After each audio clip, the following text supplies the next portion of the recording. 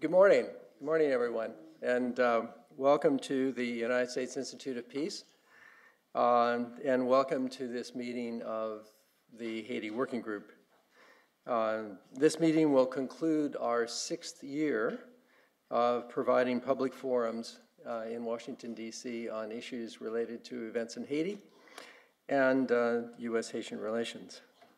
Today, we're going to discuss the courageous role that Haitian women have played in the aftermath of the, of the earthquake that occurred in January 2010, process of reconstructing Haiti, which has gone on since then.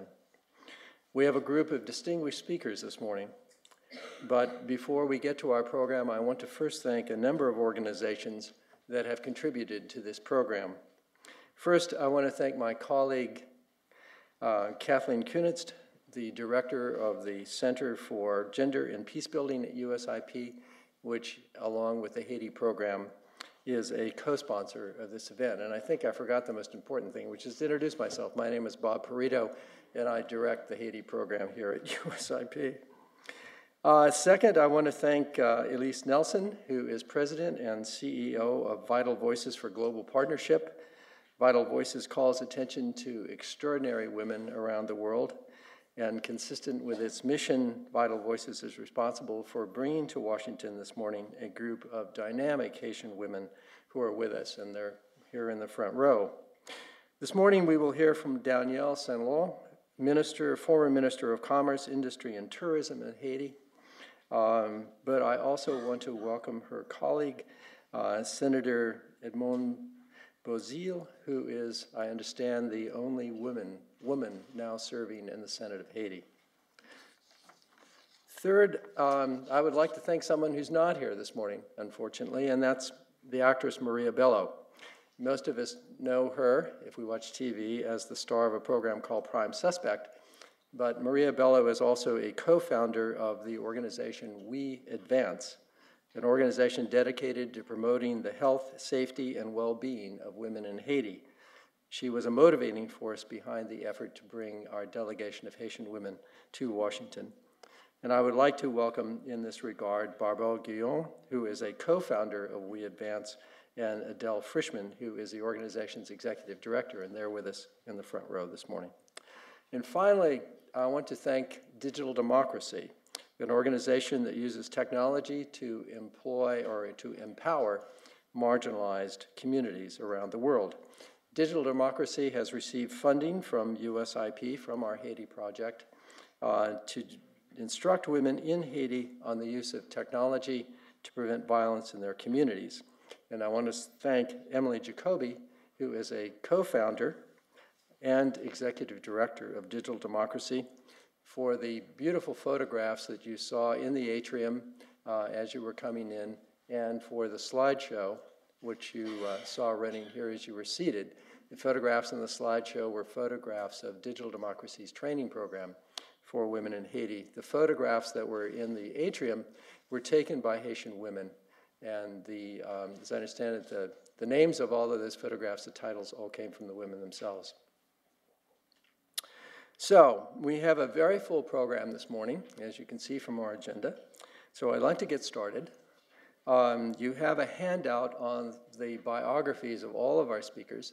So in the interest of time, we'll save time by uh, making only really very short introductions. And so uh, first we'd like to begin. I'd like to introduce Kathleen Kuehnast, the director of the Gender and Peace Building Center at USIP. Kathleen has a long and extremely distinguished history of service at international organizations like the World Bank, um, concerned with issues related to women in development. Um, and I'd like to invite her to take the podium and to introduce our topic this morning. Kathleen.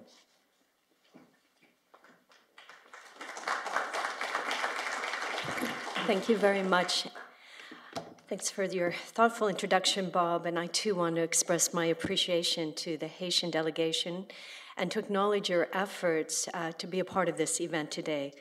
Thank you for your voices uh, to help us all on the way forward together. As Bob has noted, USIP has worked diligently over the years to maintain a focus on Haiti. Eight months after the earthquake, our centers co hosted an event to highlight the urgent security needs as a result of the reports of rampant sexual and gender based violence in the camps. The chilling reports of women, girls, and babies being raped by gangs of young men and older boys left us feeling hopeless without power. But a year later, we are here today to expand our focus on women, not only as victims of violence, for this we understand they are the majority, but also to highlight and acknowledge the ways in which Haitian women are making change happen at both the grass level, uh, level in the camps as well as in leadership roles in civil society and government.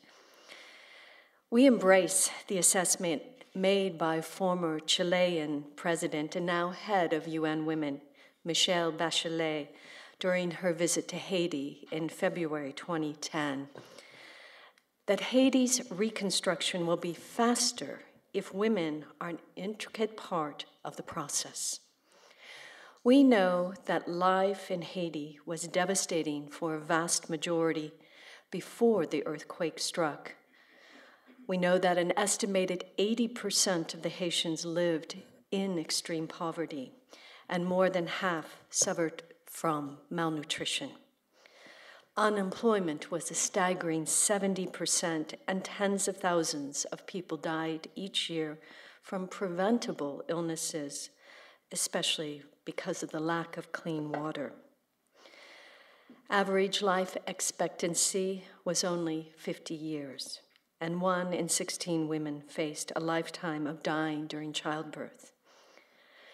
Today, nearly 700 days after the earthquake, we are looking into the face of our own global future, yet realized with potential climatic changes like what has occurred in Haiti that turns a city, a country, into a living nightmare overnight.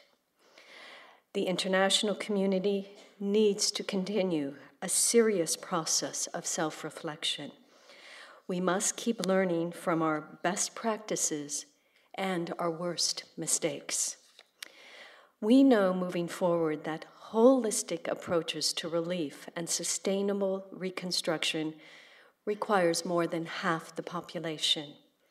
It requires a resilient effort that ensures that women are an integral part of the problem solving and decision making. At USIP, we're very committed to conflict prevention and to assist in developing alternative strategies to resolving conflicts by nonviolent means. Therefore, today we ask several questions to focus our efforts here. What can be done to prevent the violent and systematic use of sexual and gender based violence in Haiti today?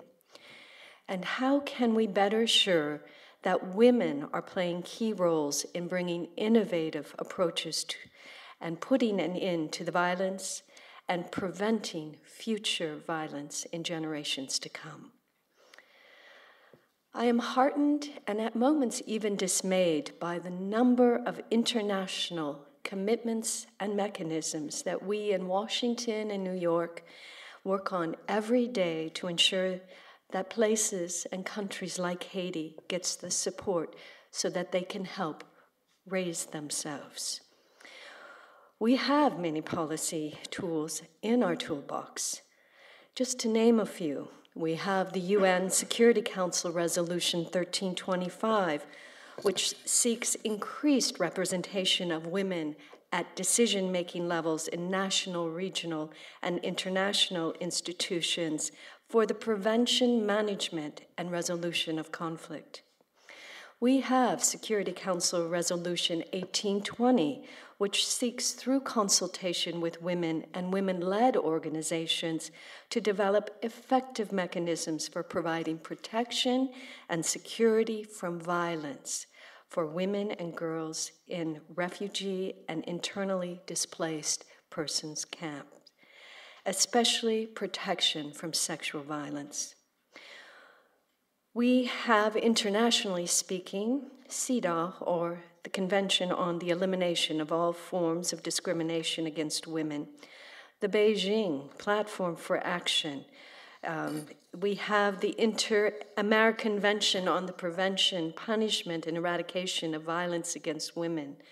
We have the Millennium Development Goals, including Goal 3 to promote gender equality, to empower women and girls. And we have, most importantly, qualified Haitian women and Haitian women's organizations that must be a part of all of these international policies, deliberations, and decision making processes in the economic and political recovery of Haiti. So now we must move from all of these aspirations to actions. As our own Secretary of State, Hillary Rodham Clinton, has emphasized, the problems we face today are too big, too complex to be solved without the full participation of women. And so, as we've turned this morning to focusing on a country in our backyard, as I continually say, if we can't get it right in Haiti, where are we going to get it right? And so today is a part of bringing this focus on Haitian women, looking at the roles that they are playing, innovative efforts to bring more imagination and reality to a life without violence and to a life that embraces hope and a generation to come. I want to now turn the podium back to Bob, who will introduce our first speaker. Thank you.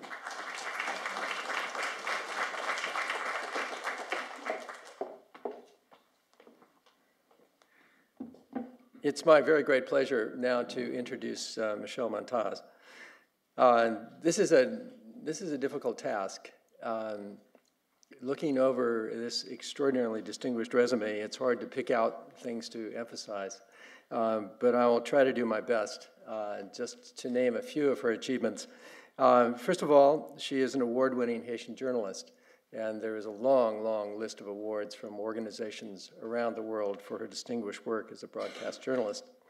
Uh, then there is her service that most of us are familiar with um, as the spokesperson and senior communications advisor to the Secretary General of the United Nations from 2007 to 2009, and the fact that she played that role for the President of the United Nations General Assembly in the years before that.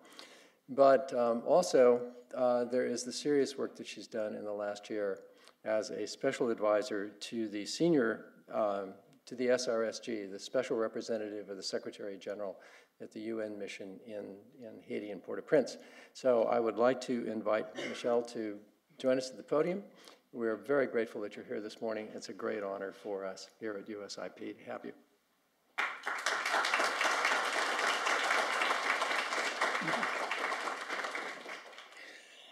I would like uh, first to thank uh, USIP and uh, Robert Perito uh, for associating me to this event on Haiti's reconstruction and the role of women.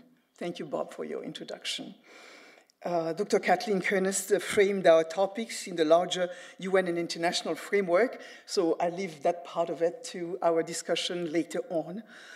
We, have, we are privileged to have in this room people who, since the quake, have worked in the camps of the displaced, have participated in the relief efforts here in Washington or in Haiti, or are members of Haiti's very vibrant women organizations. I hope we'll get a chance to share their experiences and perspective this morning.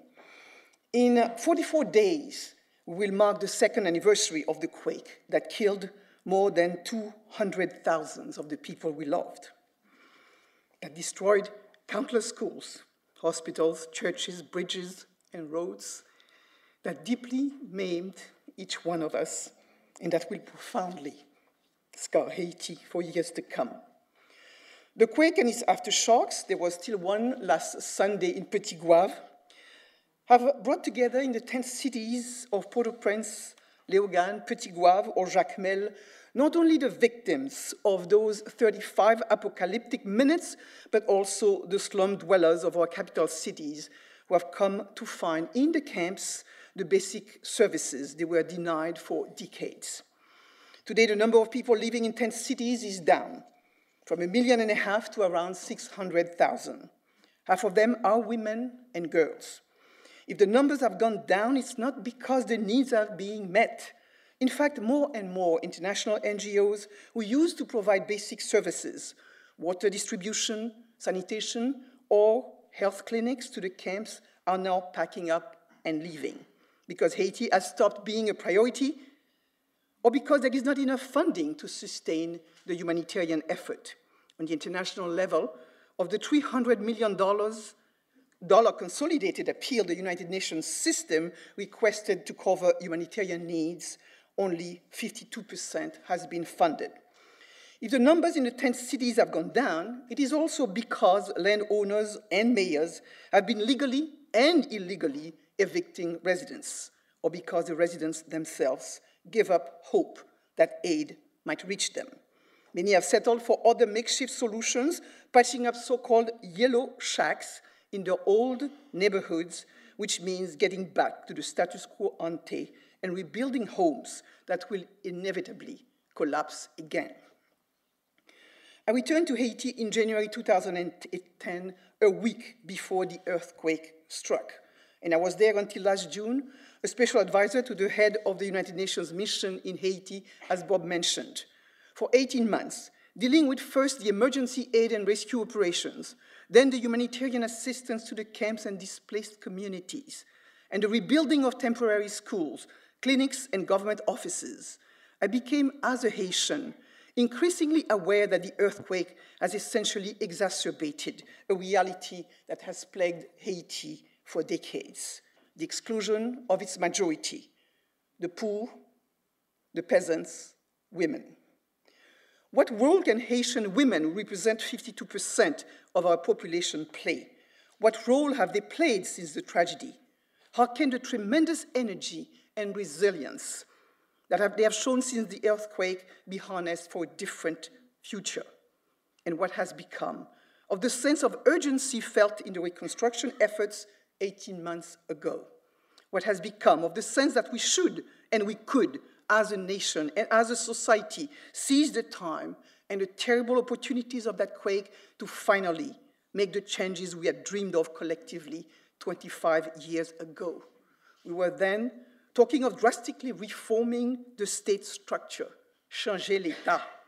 And during that Haitian spring of 1986 87, of building a less unjust society. For a short period after the quake, the incredible outpour of solidarity from individuals or from government the world over seemed to create the condition for us to rebuild better, rebuild our destroyed infrastructure, but also rebuild a more inclusive nation. Before I came here, I reviewed a number of articles from the international media about Haitian women. Most were written after the quake. Most convey the image of the Haitian woman as victim. They overwhelmingly cover violence against women and girls in the 10 cities with statistics to prove the point. The World Bank indeed estimates that 70% of Haitian women have been affected by some form of violence, a great deal of it being domestic violence. Before discussing the role of women in rebuilding Haiti, I feel we should first address the issue of violence and the image of Haitian women as passive victims. The issue is real. Human Rights Watch and Amnesty International have recently released excellent investigating report, investigation reports of violence in the major tent cities in Port-au-Prince. Reporting sexual and gender-based violence remains problematic in Haiti, according to Amnesty International, the lack of an appropriate and secure place to make a complaint, the lack of trust in the police and judicial system are major obstacles to reporting in a society where the social stigma associated with sexual violence makes it difficult for women and girls to report or seek medical help. Fear of reprisal attacks is also a major obstacle to reporting, especially as women and girls have no option but to remain in the same inadequate shelters, in the same camp where they were attacked, and to lodge complaints in the streets where they could be seen or overheard speaking to the police. The limited prevention and response mechanism that existed before January 2010 have been further undermined by the earthquake. The Ministry of Women's Affairs and Women's Rights was destroyed, seriously reducing its ability to develop an adequate response to initial reports of sexual and gender based violence after the quake.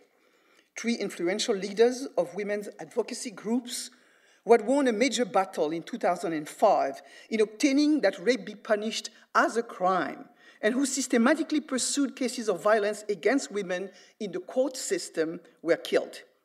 On January 12, 2010, police stations and courthouses were destroyed or severely damaged, making it more difficult for survivors to report sexual and gender based violence.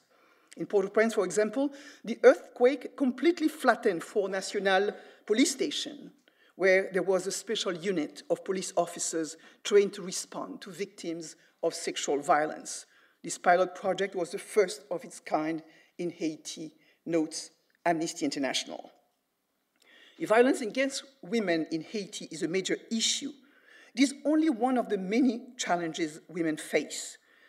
In portraying Haitian women as helpless victims ignores the work being done by women organizations and the survivors themselves to put an end to that violence. Two grassroots organizations, the Commission of Women Victims for Victims, COFAVIV, and Women Victims Arise, FAVILEC, are run by survivors of sexual violence. They are the main contact point for many women living in the camps. One of their key objectives is to ensure access to justice and reparations for the survivors, a daunting task, considering the difficult access to a largely dysfunctional judicial system and a very lengthy and ineffective legal process that prevail. Women and girls in post-earthquake Haiti face additional challenges, lack of access to family planning, prenatal and obstetric care, a need to engage in survival sex to buy food for themselves and their children, and sexual violence.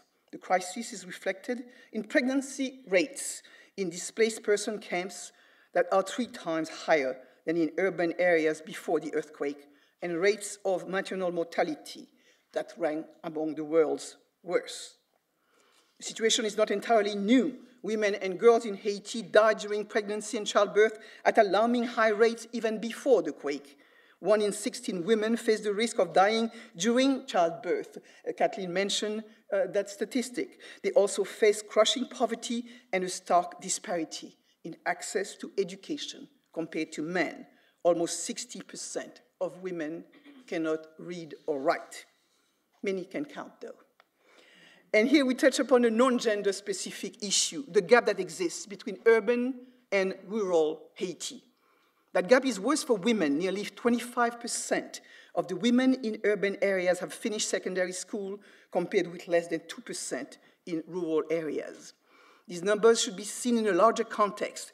The average life expectancy in Haiti is only 50 years, and more than half of all Haitians depend on agriculture for their livelihood, with women providing most of the labor for subsistence agriculture.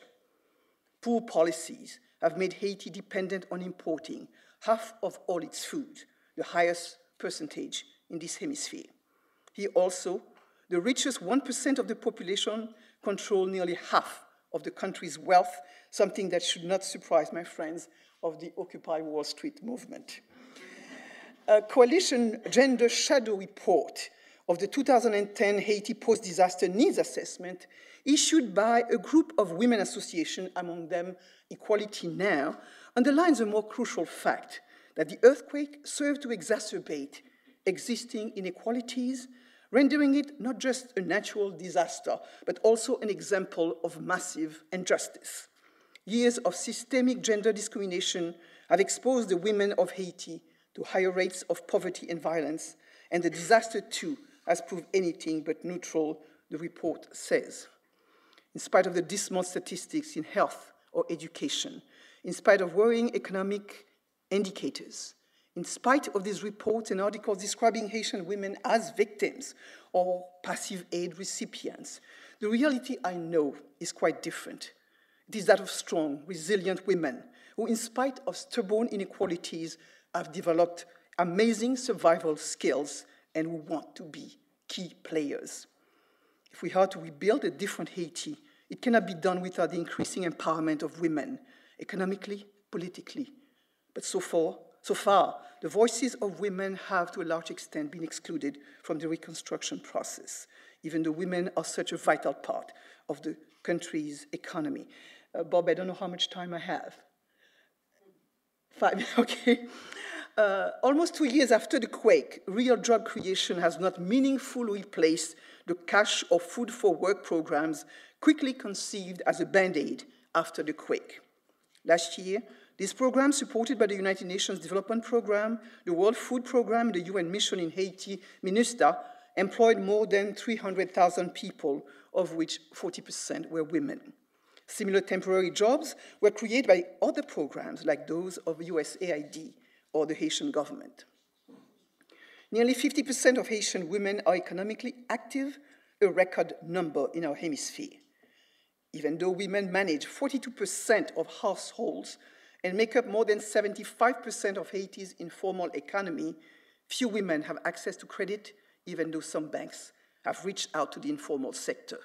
Small microcredit programs are available to rural women, two lending organizations that some of you might know, the Lambi Fund of Haiti and Fonkoze, among others, have been providing such microcredit funds. The Lambi Fund is supporting sustainable agriculture program to meet growing demand for locally produced food and funding small ventures, many run by women, such as fish farms, sugarcane mills, and goat and pig breeding projects.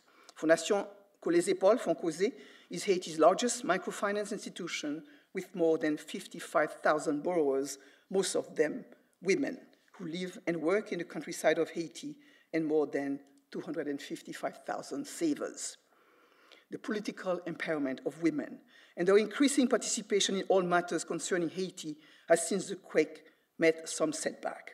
Prime Minister Conille, in his inauguration speech, acknowledged that only 0.7% of women hold a decisional position in spite of their demographic weight. The rumors of the elimination of the Ministry of Women Affairs by the new government after the presidential election created an uproar in Port-au-Prince as women would not accept to give up the hard-won access to one form of political participation. It turned out to be false, and the ministry still stands. In the Haitian Senate, we have one woman out of the full membership of 30 senators. She's with us today, Senator Beauzile, and she's also head of a political party, Fusion. I'm also sure that Danielle Saint-Lot, who has worked uh, for many years in the political empowerment of women, will address the issue this morning, so I won't uh, speak too much about it. I will simply say that in May 2011, the 49th legislature approved the proposed amendment of the 1987 Constitution of a minimum quota of 30% of women in the Haitian legislature. It will remain wishful thinking if political empowerment does not reach the local and community level, and if women candidates do not receive adequate support. In comparison, in Rwanda, the 2003 constitution requires that at least 30% of parliamentary and cabinet seats go to women. And today, 56% of parliamentarians in that country are women. Beyond holding electoral positions, one key issue is increasing women's voices, certainly in political processes, but also more broadly at the community level and in civil society and professional organizations. Haiti already has many strong, vibrant women's organizations that can lead the way. Following Haiti's devastating earthquake, Haiti's government, supported by the World Bank, led an ambitious post disaster needs assessment, an operative blueprint for reconstruction. It exposed the significant cracks in Haiti's economy, infrastructure, governance system, environment, and social services, and offered detailed, helpful recommendations on how to rebuild and even improve such systems. Still, critical voices were noticeably absent from this assessment and its resulting reconstruction framework, those of Haitian civil society, and especially the voices of women. Comprised of eight themes in total, the PDNA only addresses gender explicitly in one theme, that of cross-cutting issues. We, uh, I will, of course, speak a little more later uh, if, uh, if you are interested uh, about the project that we did, uh, The Voice of the Voiceless, where we actually went to the countryside to listen to women's voices and what they said. They wanted more participations. They wanted to have a say in their own affairs. Thank you.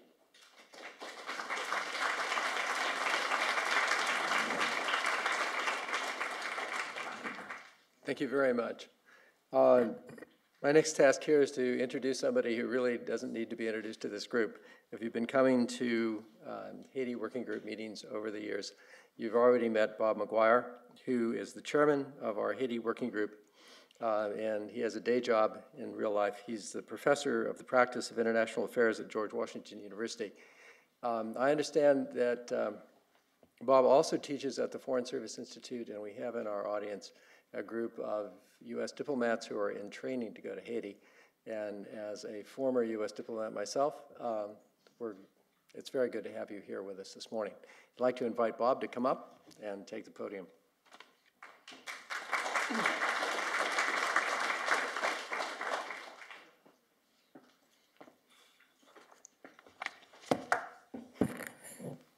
Bonjour tout le monde.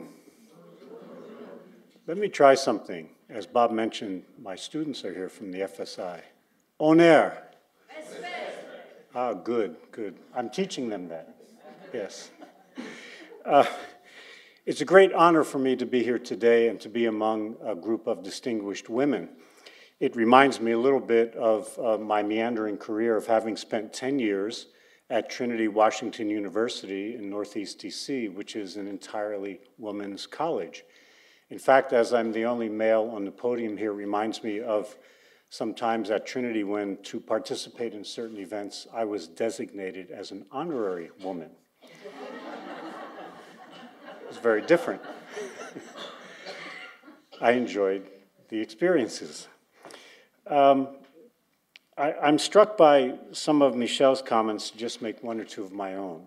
Um, one of my proudest moments as someone who's worked a lot on Haiti was when I was able to serve as the expert witness in a civil trial in New York City where three uh, women, identified as Jane Doe 1, 2, and 3, Haitian women, um, launched a suit against a man named Emmanuel Constant, uh, better known as Toto Constant, the founder uh, and leader of an organization called FRAPH. That's FRAPH. And in this uh, trial, which was held in New York under several very interesting US laws, um, I was serving as the, um, the witness for the women, um, trying to demonstrate that Mr. Constant uh, should be punished because of his role as the founder and leader of this organization. It was a great honor for me to do that. The case was won by the women.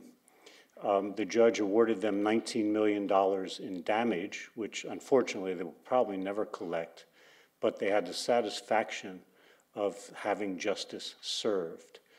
Um, what struck me as very interesting was that in the succeeding days, when news of this event reached Port au Prince, it was reported that many women went into the street and demonstrated for similar functions of justice to occur in Port-au-Prince. The Minister of Women's Affairs responded by lamenting that we would like to help, but we do not have the resources to do that. And as we know from what Michèle also said, the judicial system does not function very strongly in this matter.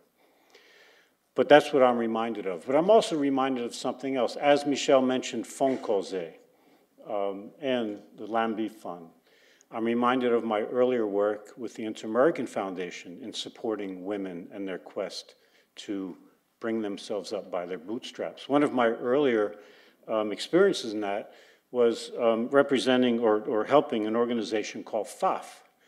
And this was in the early 1980s. I think FAF is actually still around. It was an organization founded by a group of women, Haitian, Haitian women bankers and many of them went on to serve in ministerial posts in, in subsequent government. But their mission was to assist market women to better manage their businesses. And in Haiti, of course, women are also known as the poteau mitant, the center post. That's the weight bearing post. It's also the post from which the spirits descend to give people strength and energy. And the women that Faf were working with, these market women, were truly poteau mitant of Haitian society. Let me introduce our next two speakers, and um, then I'll join my colleagues here on the podium. We will hear in succession from Danielle. Lo, who is an associate and CEO of Caribbean Business Consulting, which is a firm that promotes business development and investments in Haiti at the local level in competitive value chains. As has been mentioned earlier, she was a Minister of Commerce, Industry, and Tourism in Haiti, and she's been the Executive Director of the Chamber of Commerce and Industry in Haiti. She's worked extensively, believe me, in private sector development, local governance, civic education, and women's political and economic empowerment. She is co-founder and president of Femmes en Démocratie, a Haitian nonprofit organization that is affiliated with the Vital Voices Partnership. And she is also a member of the Vital Voices International Consultative Board. Danielle will be followed by Emily Jacobi, who is the co-founder and executive director of Digital Democracy, a New York-based nonprofit that works globally to empower marginalized populations with digital tools. She has worked with marginalized communities, including migrant workers, women's group, refugee youth, and others in media and technology projects in Latin America, Sub-Saharan Africa, Southeast Asia, and the United States. Before she founded Digital Democracy in 2008, she worked as a journalist with News Network, AllAfrica.com, and Wide Press. And today, the USIP and Digital Democracy have teamed up to train women activists in Haiti to monitor and report violence in their communities, especially by using cell phones and other forms of information technology to prevent conflict. So Danielle, would you like to take my place up here?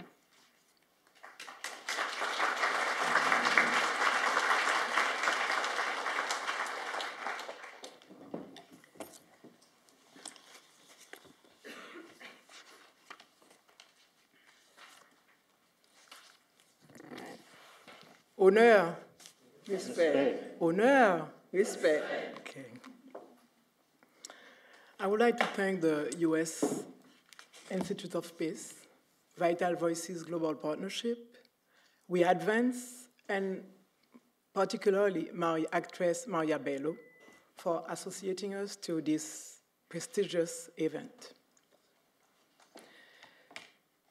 The theme of this event is the Haiti reconstruction process. As Haitian women, we really want to talk about nation building. That's what we are looking for. Throughout the history of Haiti, women have played an important role in shaping the country. From the creation of the Haitian flag to campaign for the right to vote, labor rights, pro-poor economic policy, and the fight to end dictatorships, Haitian women have successfully fought for equality and a just society. I'm not going to talk about all Michèle was saying, and I have to remove two pages from my presentation because she has said everything about the whole situation and also the challenges. Today, nearly two years after the January 12th earthquake, Haitian women voices have not so far been heard in the discussion for the reconstruction of Haiti. Haitian women have been silent. They have been silent, but very active, with limited resources, carrying out criti critical activities in underserved, disaster-affected communities, including reuniting families, conducting needs assessments, documenting rape cases, and chan channeling psychosocial and material support to vulnerable women and girls in devastated neighborhoods and camps. We have been silent. We are still silent, but busy under our tents in camps and our tent office with goats and chickens doing our best to get back on our feet. We have been too busy burying our death, supporting survivors, worrying about our traumatized children, our people under tents in rainy and hurricane seasons. We are busy living on a survival mode. Most earthquake victims are still living in tents or high-risk damaged houses. I'm well dressed. I'm still in a broken house. Women are the greatest victims and are disproportionately affected by increased gender-based violence. By all indicators, even before the earthquake, Haitian women were extremely vulnerable. A large number of Haitian families are female-headed households with limited social safety nets or government protective services. While humanitarian relief initiatives are targeting immediate basic needs, few reconstruction efforts are targeting long-term livelihood development. We are busy trying to resume businesses' operations.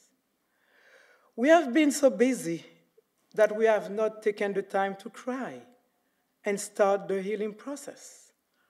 How can we talk about reconstruction if our minds, our souls, are still under rubbles? We, women living in devastated Port-au-Prince, Jacmel, Léogâne, are still broken, too vulnerable to be fully part of the so-called reconstruction process.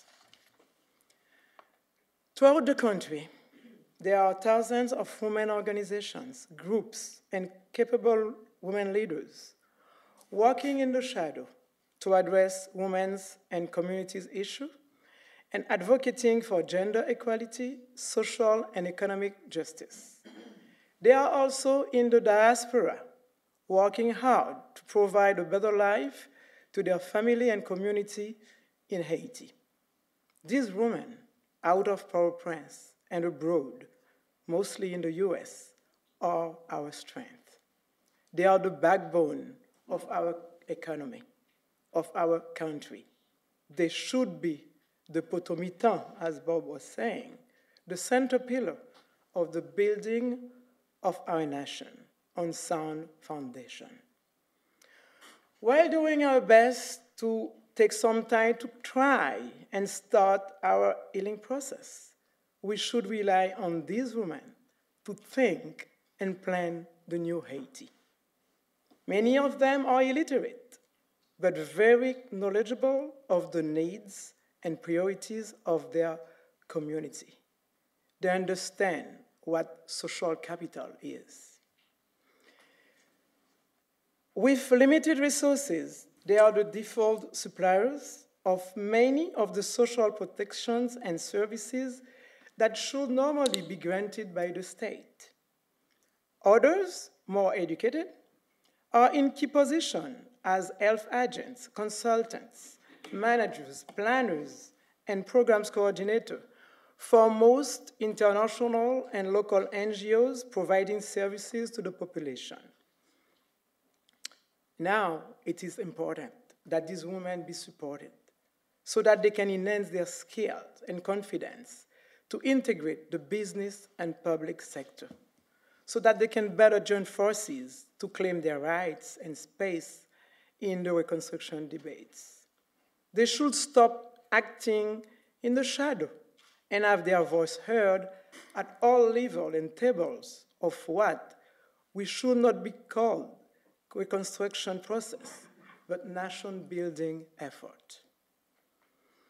Through a public-private partnership, Farmer Democracy has joined forces with other network and federation of women organizations in bringing together women's associations from throughout the country, including all municipalities and rural communities, to launch a concerted effort to support women's full participation in the nation building process. This initiative is under the leadership of the Ministry of Women Affairs and the Caucus of Haitian Women Parliamentarians, is articulated in the slogan Femmes, c'est Potomitan aux constructions Haïti, Women of the Potomitan of the Constitution of Haiti. It is financed by the Norway government and supported by the Minister. And we are really proud and happy to have our new Minister of Women Affairs. She's a strong businesswoman running the largest business support association of Haiti, 12,000 micro and small entrepreneurs. And I can tell you that's what we are dreaming leaving the private sector, leaving the NGO to enter the public sector to make change. Through the, this initiative, a process of consultation has been initiated at the national level through the convening of 350 focus groups that are bringing together over 5,000 women. These focus groups are carried out in November and December this year throughout the country in over 100 municipalities and rural communities. They will facilitate a dialogue around women's concerns and priorities and concrete action that must be taken to address them. In the month of January and February of 2012, the result of this focus group will feed discussion and facilitate setting of women key priorities in a regional forum organized in the 10th geographic departments. This regional forum will conduct to a national discussion in March 2012, bringing together about 40 delegates representing all departments. Results from the local and regional consultation will facilitate the drafting of key elements of Haitian Women Platform for Action for Nation Building. With this earthquake, we have realized we are not by ourselves on our small island with the DR, that there is a world, and we have to take account that we are living in a global world. So that's why, to better refine the platform and extend consultation, the Ministry of Women Affairs and the Caucus of Haitian Women Parliamentarians will convene women leaders from countries who have experienced challenging conflicts and who have achieved peace and overseen difficult process of reconstruction. These leaders from countries such as Rwanda, Northern Ireland, Guatemala, Benin, and Liberia will share their experiences, including best practice and lessons learned with Haitian women leaders. This exercise, linking the local to the global, will facilitate the refinement and adoption of a national women platform for action with 10 key points that will serve as a compass for the participation of Haitian women in the nation building process. This platform will be translated into a legislative agenda by the Caucus of Haitian Women Parliamentarians. It will also serve as an advocacy tool in favor of a national budget that adequately responds to the needs of Haitian women and those of their communities. This initiative is supported by international women leaders and celebrities like Maria Bello, and by the organization Vital Voices Global Partnership. It extends beyond Haiti's borders and is becoming a global movement in favor of Haitian women's full participation in the national in the nation building process. We're inviting you to join this movement. Today, 22 months after the January 12th earthquake, there is a new disposition towards change. President Michel Martelly, a singer with no political background, has been elected with 67 of votes because of this new claim for change. Building the country is an enormous challenge which requires transformational leadership. The building of our nation is not about buildings, construction, code, projects or money. It's about vision, unity of purpose, and power to plan and control what the future Haiti will be and serve. Only women can be drivers of change and of this unity of purpose for the renaissance of Haiti.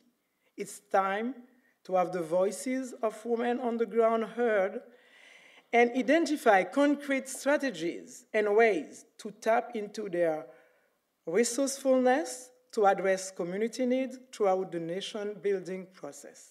We, women leaders from the NGO, cannot be their voices. Their true voices is their elected representative in local governments and parliament.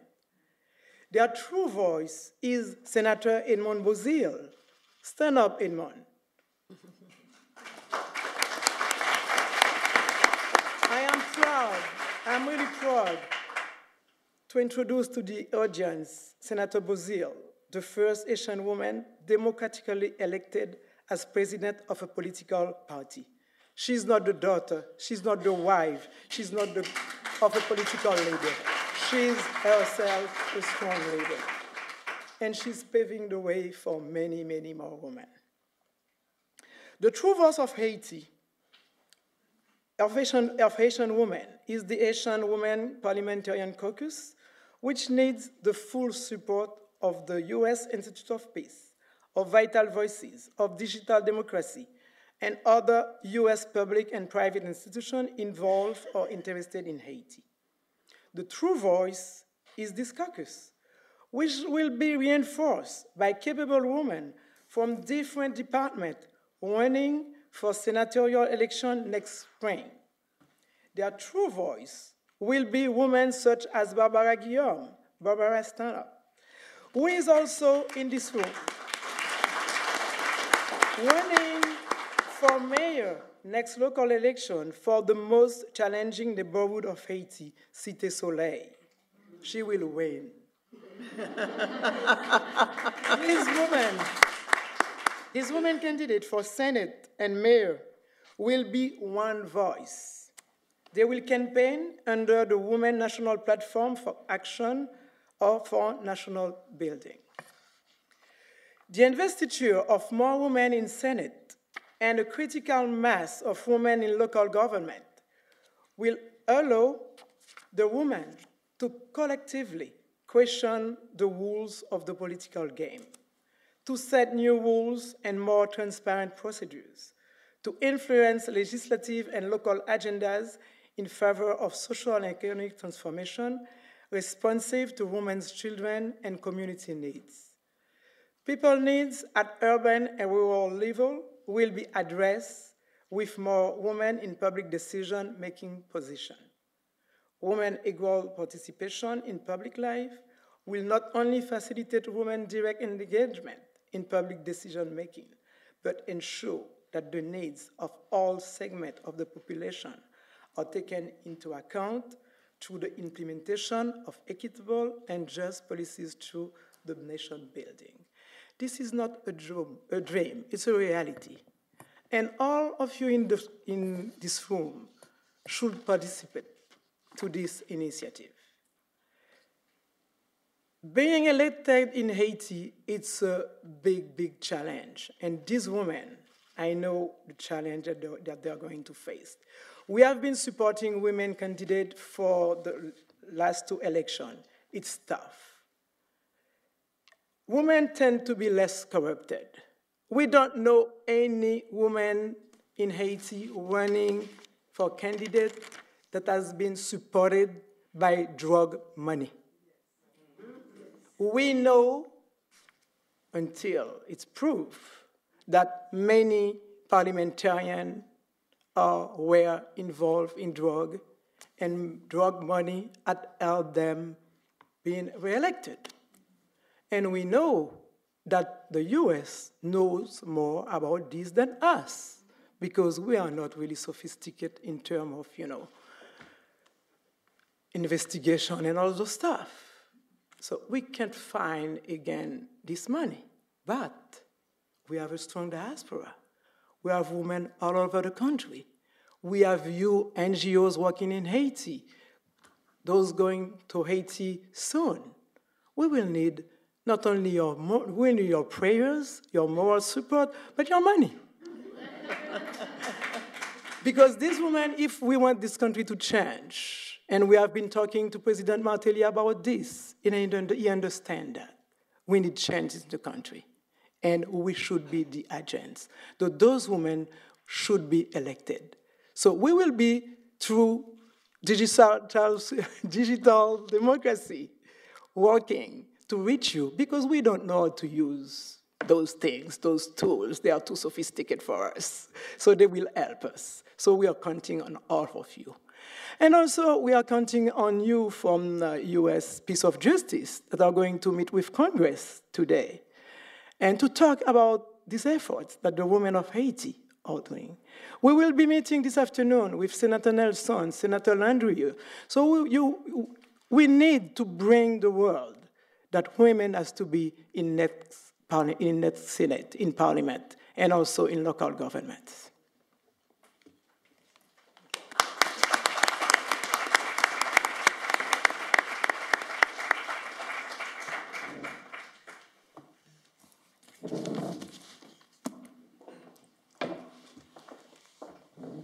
It is such an honor to follow you, Danielle, and to be here in this room. And um, I want to begin, of course, echoing uh, my fellow panelists by thanking USIP for their real vision and leadership and belief in Haitian women.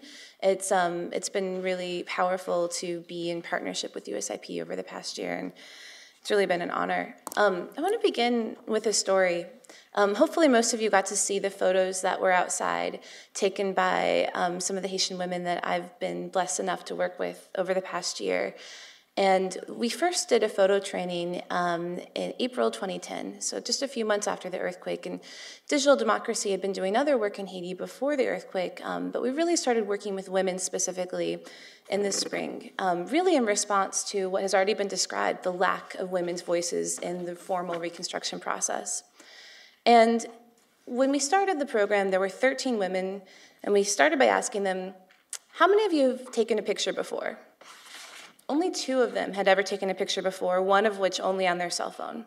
So, when you first encounter a new technology, it seems sophisticated, it seems difficult, you're not sure how to use it. Um, but pretty quickly they learned, of course, and they were awesome. They took really powerful photos. Some of the photos that are out there, um, the one of the woman, the woman with the buckets around her, that was taken about five hours after that particular photographer had learned how to use a camera for the first time. It's a photo that's as strong as any that have come out of post earthquake Haiti by the professional journalists who came down. And one of the things we did is we asked the women, you know, turn, starting to get them warmed up, we asked them, can you describe three, pick three words to describe Haitian women? And they went around, and almost all of the women we were working with um, are self identified victims of sexual violence, um, either during political attacks before, or some of them had even been attacked in the camps, you know, post earthquake. But the, the words that they said, and this is echoing themes that have already been said, they were not words of passive victims. They were strong, they said strong, fierce, proud, able to survive many sufferings, mothers, leaders. And it was just so affirming to, to hear all of that. And I think that's really reflected in the photos that, again, show a level of intimacy and show the reality on the ground in a way that no outsider ever can, no matter how good their camera is, no matter how many times they've spent, uh, you know, no matter how many times they've spent time in camps and so on. It's really different when you see it actually from people who live in the community themselves. So as I said, you know, we've been working with um, USIP um, over the past year, and it's really been such an honor. We um, we first uh, had a partnership last fall where we worked with some of the women's groups that we'd been working with since the spring before that, and we looked at what um, what was the prevalence of violence in their communities the lead up to the um, elections. And we really focused on the ways that technology tools like mobile phones um, and also online reporting could enable them to tell the story of the reality that was happening in their camps. Um, one of the groups we work with that's already been mentioned, COFAVIV, Commission of Women Victims for Victims, they actually, they were recording um, the incidents of rape and sexual assault all last year, and they continue to do that to this day. They recorded the highest number of rapes last year in the six weeks leading up to the election. I don't know if that's correlation, causation, you know, we could probably have a much longer conversation about that, but it's very real that as, you know, the political situation was heating up, when women were being incredibly targeted and their security really put them at risk. So when we talked about the elections and what that meant for them, they talked so much about fear of going to the polls, of leaving their children behind, um, of what it would mean to actually wait in the polls all day, to not knowing where their polling station was. So there's some, you know, very concrete challenges that women face just for the most basic level of political participation, which is voting itself. Um, one of the one of the impacts of that initial training was we found that they really had a lot they wanted to say. They had very um, specific and often diverse opinions about the political process, around what was happening in their lives, around violence in their community. And one of the um, unintended consequences was that they really wanted to have their voice heard beyond our initial project. And we started a blog, and it's called Femme Parler, which is Women Speak in Creole. Uh, the address is femmeparler.blogspot.com. Um, and they started writing about their experiences and starting posting photos that they were taking. And some of the most incredible um, post-election coverage that I read actually came from the women we work with. Um, you know, their very real, raw experiences. There's a very powerful blog post that came up during the post-election violence period um, that one of uh, one of the women talked about just how women once again were bearing the brunt of the violence that was happening in their community. The women we work with are grassroots women. They are mostly uneducated, um, you know, low levels of literacy. They are yet, despite that, incredible leaders in their community. Um, they provide services, psychosocial support. They provide medical and legal accompaniment to women who have been raped or assaulted. Um, and they also are really advocating for changes in their community. They're participating in various ways, organizing marches, um, organizing sit ins. And the question we really asked ourselves along the process as we evolved from just working with photography was okay, how are they using tools already? Because most of them do have mobile phones and they find ways to charge them. Um, how, can, how can we use the tools that they're already using to take their work up a notch? Um, the power of technology, you know, is manyfold, but it includes the power to amplify, the power to, you know, reach more people, um, to make workflows more efficient, to, um, to actually digitize information and therefore be able to analyze it better.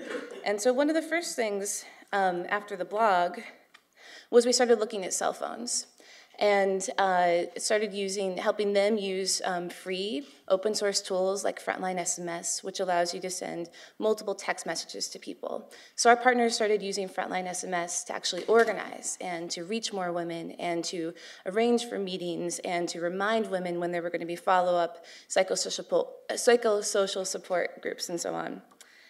And then one of the major issues that um, has really been a challenge, I think, when it's come to the question of violence against women in Haiti is a lack of fully representational data. And so we worked with um, a, on a pilot project with KOFAVIV uh, to take all the data that they've been recording and actually start to digitize it. So we built a digital database that's now become an information management system and really built their capacity to take the information they were already gathering about where victims um, had been attacked, about whether or not they were getting support, about kind of the nature of the incidents. And a lot of this information has now been used in all of the international reports that have come out, you know, including um, the one from Human Rights Watch um, that is on the table outside. And this database process has been really incredible because we've seen how they've taken the information that they already had, but when it's all on paper and it's all separate, you know, you have all these ideas in your head, but you're not able to start seeing, you're not able to see the patterns.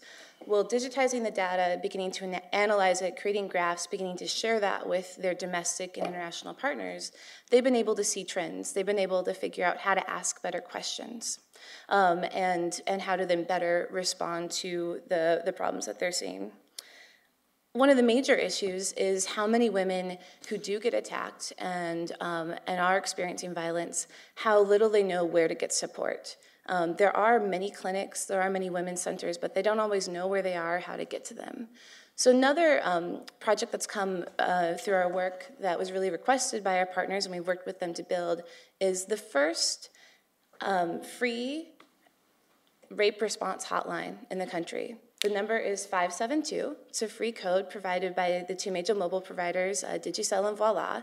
And any woman can call 572 and say you know what has happened to her and get um, connected to the nearest medical um, support that she can get.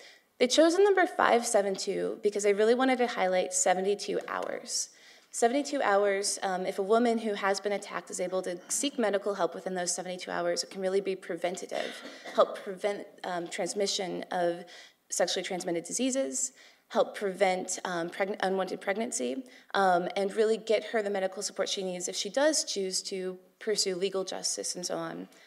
That call center was launched um, this uh, August by our partner Kofaviv, um, and it's uh, started off by they were just sharing it um, amongst their partners and within a trusted network. And as they've worked through what it's like to really be answering these calls and so on, the past few weeks they've gone on national radio and television to really broadcast the call center, and they've had a huge spike in the number of calls. Many of them are just people who are seeking information. They haven't necessarily been attacked or attacked recently, but they want to know more about the support. Um, what are the support networks they can tap into?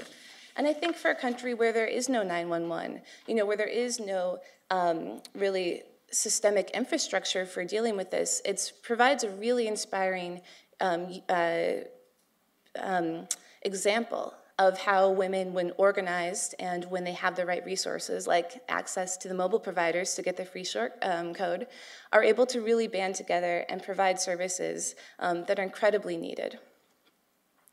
So social media, like the blog, has also, you know, we've really seen a huge impact just in the level of confidence and the um, the ability to feel connected to others. You know, it can be very lonely to feel like you're still living in a camp, you don't have many services, feels sometimes like the world has forgotten them. So seeing women post blogs or even actually use Twitter um, and get responses from an international community is incredibly empowering. I mean, think about yourselves. For those of you who maybe are on Facebook or have any sort of online presence, you know what it feels like when somebody sends you a message and gives you positive feedback. Think what that's like for women who have never been on a computer before, who've never been online before, who never had email before, to all of a sudden take a leap, work really hard to write something, put it online, even if it's just a paragraph, and get positive response from an international community. It's been, it's just the way their faces light up and the power they see in the ability for their photos and their words to touch other people. It's been really powerful. Um, one story that I think is worth sharing last fall, about three weeks after we'd done the initial citizen reporting training um, pre elections, one of the young women um, who we work with, who um, herself had been a victim of rape a couple of years ago and therefore is part of these grassroots networks, she came into um, one of the women's center with a, a, her cousin's um, daughter who was five years old. And that young child had been raped um, by the next door neighbor in the tent camp where they lived. And she was devastated because she knew, of course, that this was happening. But of course, when it happens to a relative that you care about and somebody so young, it's just very hard to deal with. So she brought her um, to Kofaviv Space. Um, they did the intake process to get all the information and find out whether or not the family wanted to pursue legal justice and so on.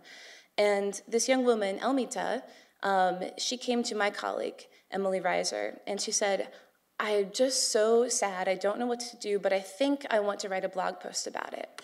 So Emily sat down and helped her write a blog post, and she wrote a blog post about this young girl who had been raped and what that meant to her and how sad it was.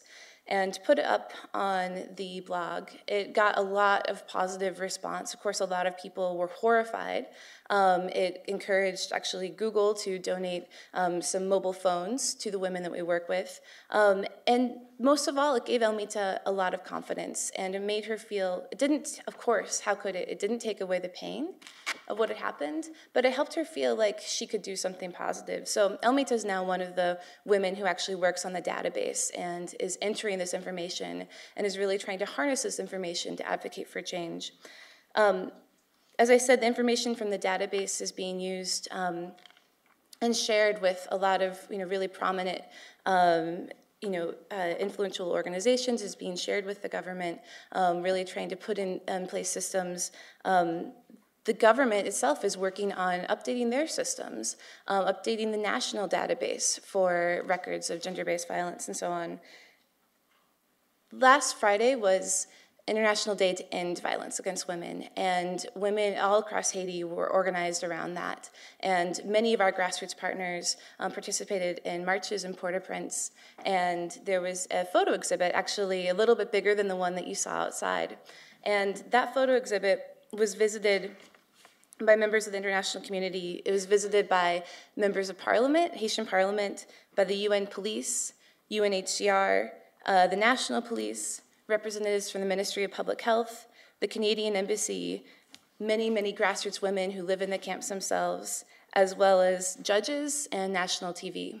Um, you know, photos themselves are just a starting point for a conversation, but again, when we talk about voice and we think about whose reality is being seen, it's a really powerful first step. Another thing that I think has been really inspiring has been the role of women peace builders to actually create work with male allies. So I want to end with, um, with this story. So um, has actually worked with men's groups and found male allies in the camps, brothers, husbands, um, nephews, just neighbors who care about women, who love the women in their lives, and who are really horrified by all of the violence that, have, that has been happening. And so they've actually organized these groups of male allies who have been armed with mobile phones um, and flashlights, and they go around in the in a couple in two different camps and they spend time actually talking to the women uh, and men in the camps, trying to do uh, education for other men, try to get other men onto the cause of we're here, you know, we're going to help, like we're going to work in, in tandem with women to protect them. They actually wear the name of the logo of the women's group uh, on their shirts, and and um, and then they also do accompaniment at night. So if women want to go to the bathroom, it's something that has unfortunately become really dangerous, they'll do that. And they've actually seen the number of rapes go down in the two specific camps that they work. And I think that's really powerful. And I think, you know, this event is so important in highlighting the role of women. But of course, part of that question is how do men and women actually work together in an equal way to address these challenges? So I'll end my remarks there and um, really thank you again for, for the opportunity to speak.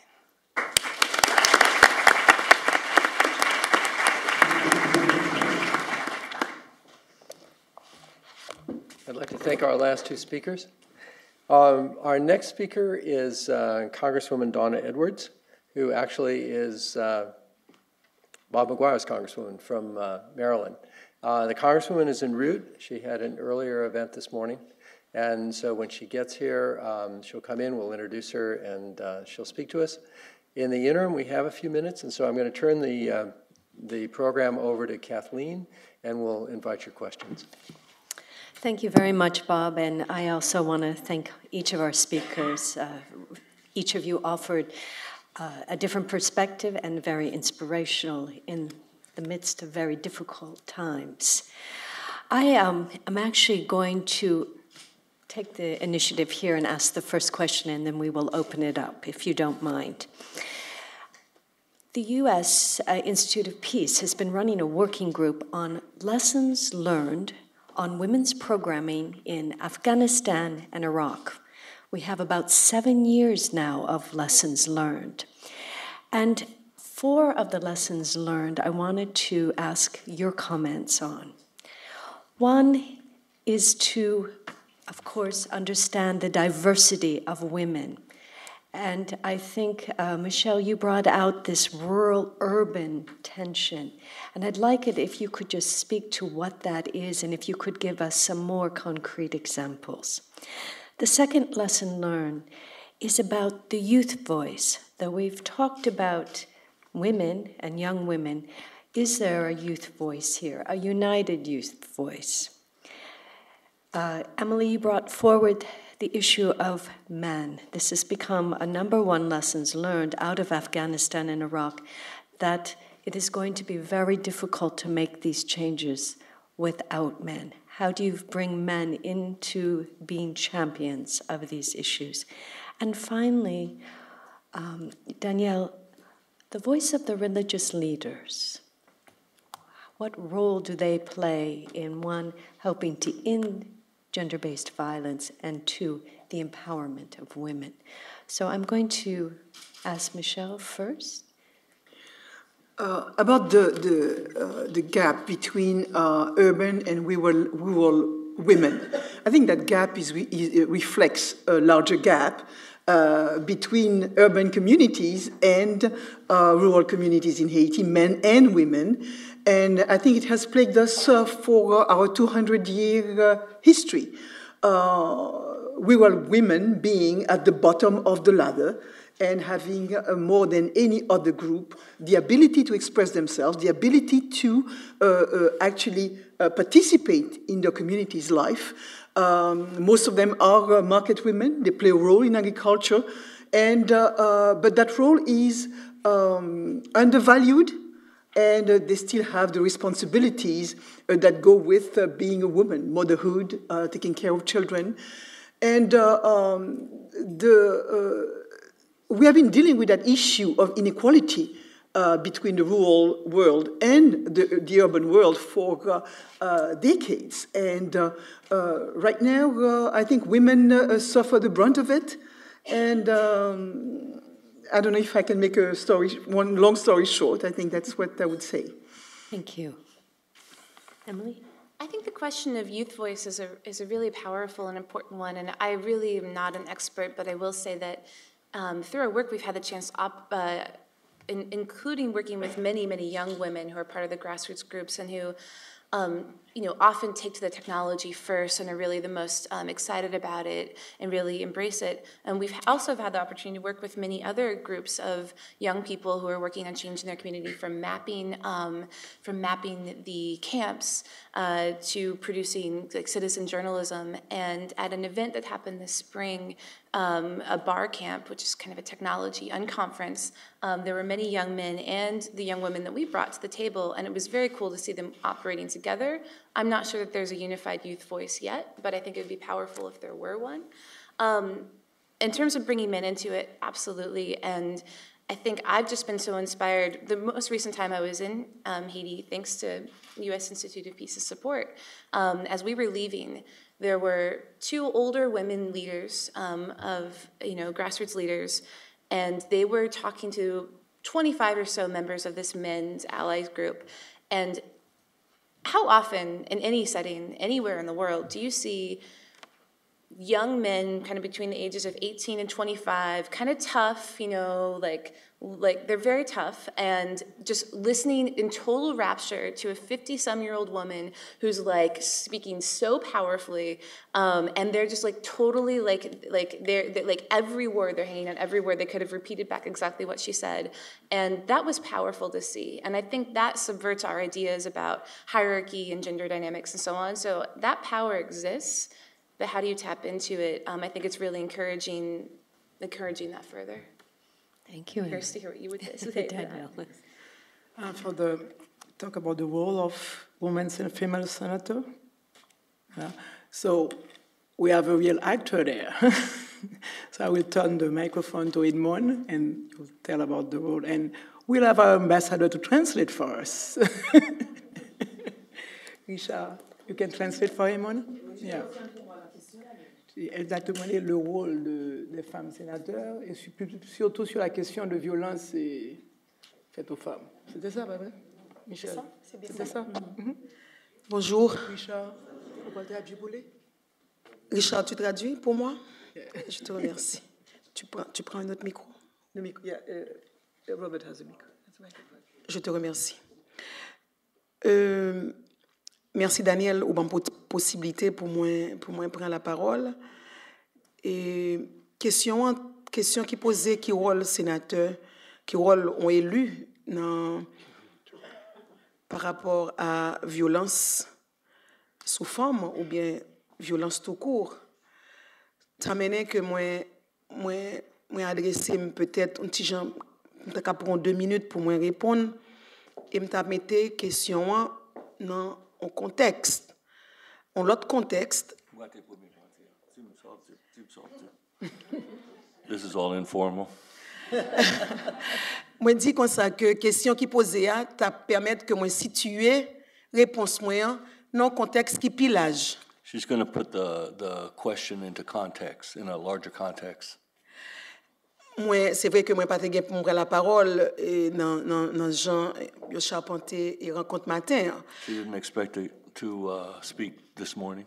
Mais moi t'as dit que si m'a parlé de violence, si m'a parlé de paix, m'obliger mettre dans le contexte côté que m'a regardé économie pays politique pays et côté que pauvreté comme cause structurelle t'a doué mener dans pays qui gagne plus violence.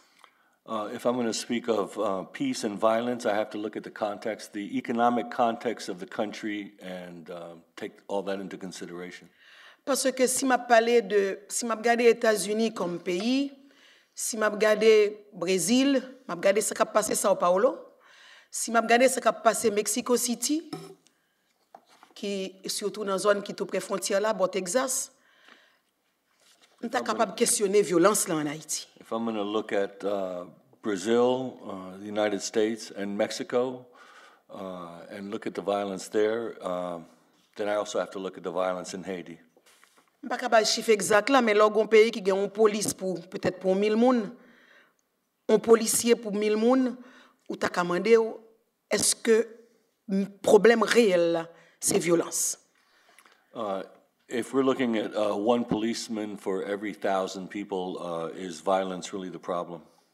Moi-même, je crois que parler de violence en Haïti, c'est d'abord parler de pauvreté. Uh, to speak of violence in Haiti, you have to speak of poverty. Qui rôle, moi-même comme sénateur ou bien comme élu, mais qu'à jouer, là, parler de violence? What role can I play as a, as a parliamentarian can, uh, when we're talking about violence? Parce que rôle moi t'as joué c'est rôle n'importe qui parlementaire à travers le monde parce que Haïti pas un cas spécial. Uh, in that case, we're not special. I can, I can play the same role as any parliamentarian around the world. C'est pas c'est pas parce que je veux esquiver la question. C'est surtout parce que je veux vous interpeller, vous qui êtes dans cette salle, vous qui êtes des jeunes étudiants, vous qui êtes des chercheurs, vous qui êtes euh, membres d'ONG, travaillant en Haïti ou pas. J'aurais aimé vous interpeller de préférence pour vous dire que analyser le problème de la violence en Haïti, c'est vous interpeller chacun de vous, interpeller les parlementaires comme moi, vous interpeller pour vous dire que nous avons besoin que l'aide qui est donnée en Haïti soit donnée avec le cœur. L'appui qui arrive en Haïti.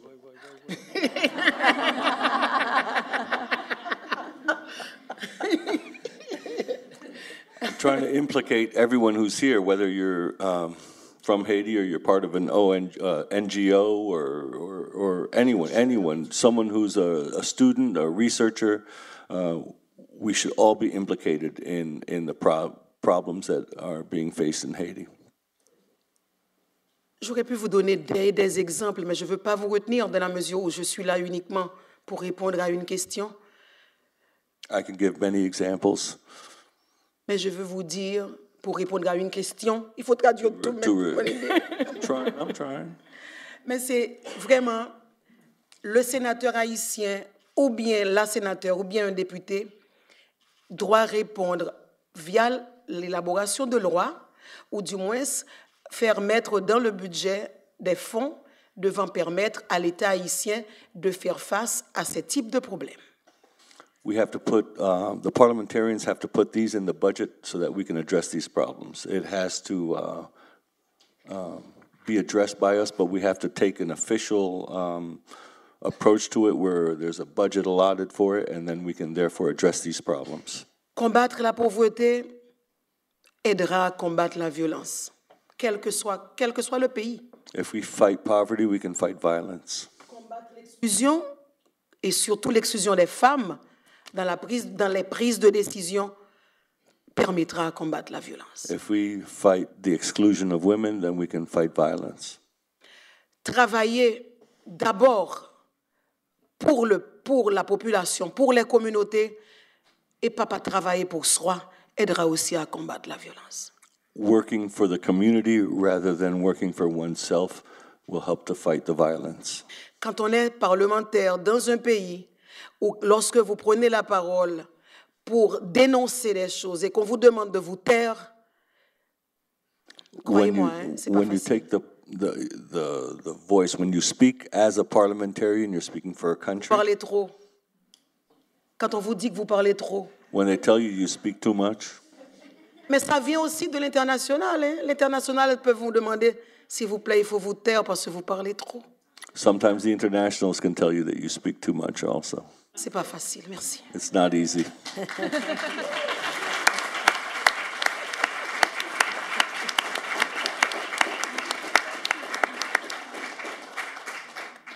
Senator, and also thank you, Richard Morse, Special Assistant to President Martelli.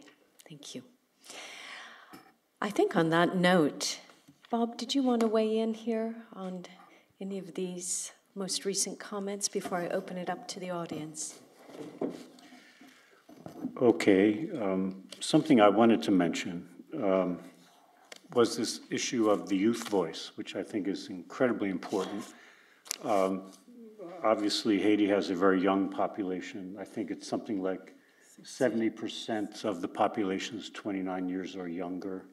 And, um, and, and, and that population um, has grown up in a time of, of instability and, and disappointment and unfulfilled expectations.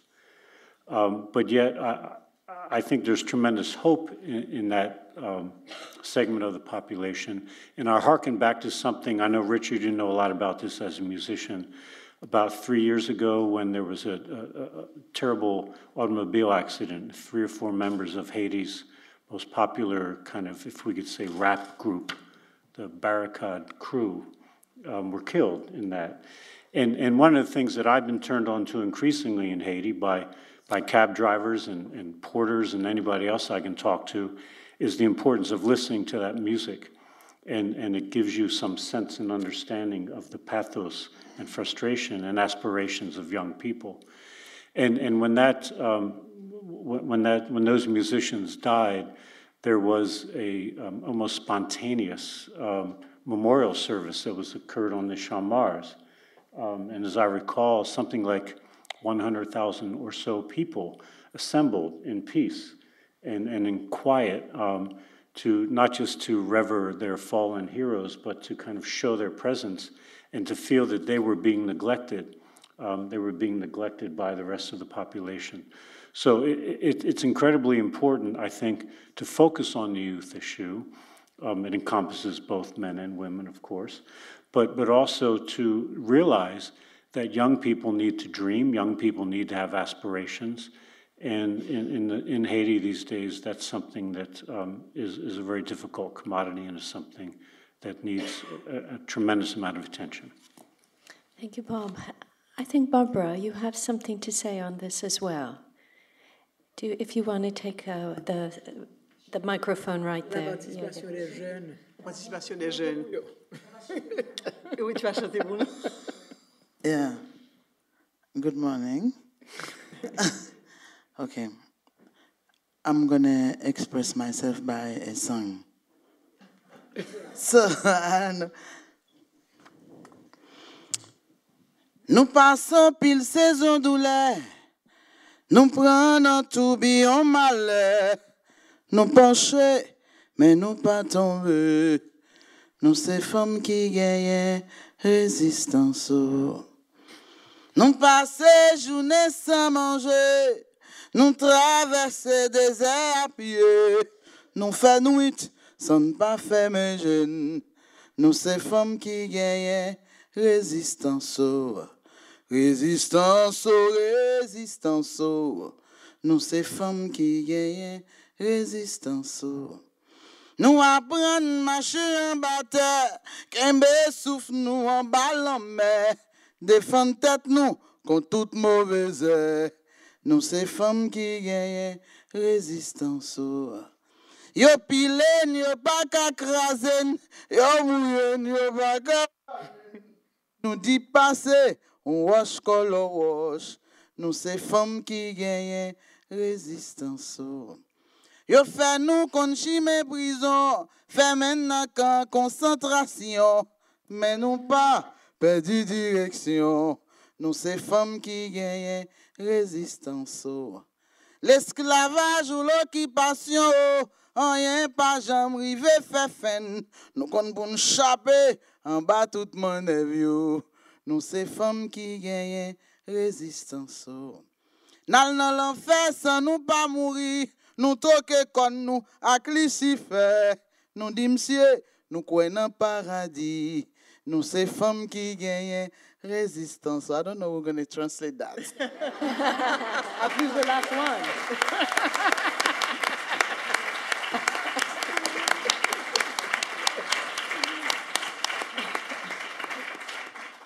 If you want to do a line by line, I'll, I'll help you with it, but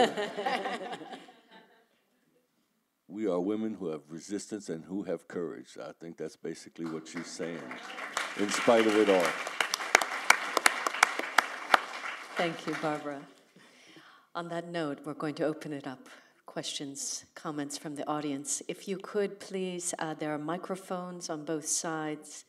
And uh, if you could find a microphone and very briefly introduce yourself and even more briefly your comment or question. We, I know we have a lot of people here who have stories as well.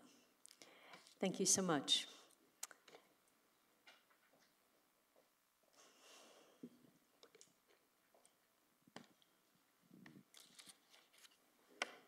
Yes, thank you so much. My name is Elise Young, and I work with Action Aid, and we have an office in Haiti for 14 years, and are supporting a land and housing rights movement with a platform called Génanger that works with, among other women's groups, uh, CONAFAP, uh, the largest national group of women um, producers, uh, peasant movement, and Décidée.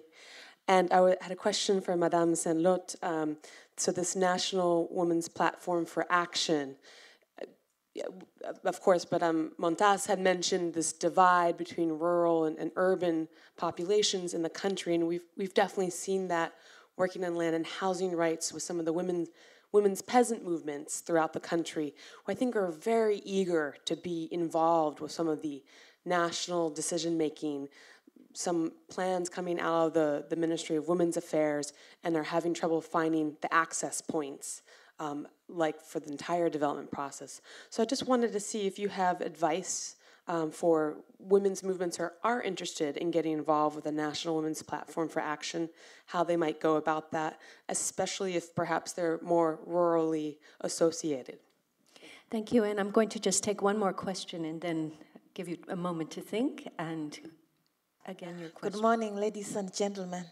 Uh, thank you for your presentations. My name is Rosemary Seguero. I'm the president of Hope for Tomorrow.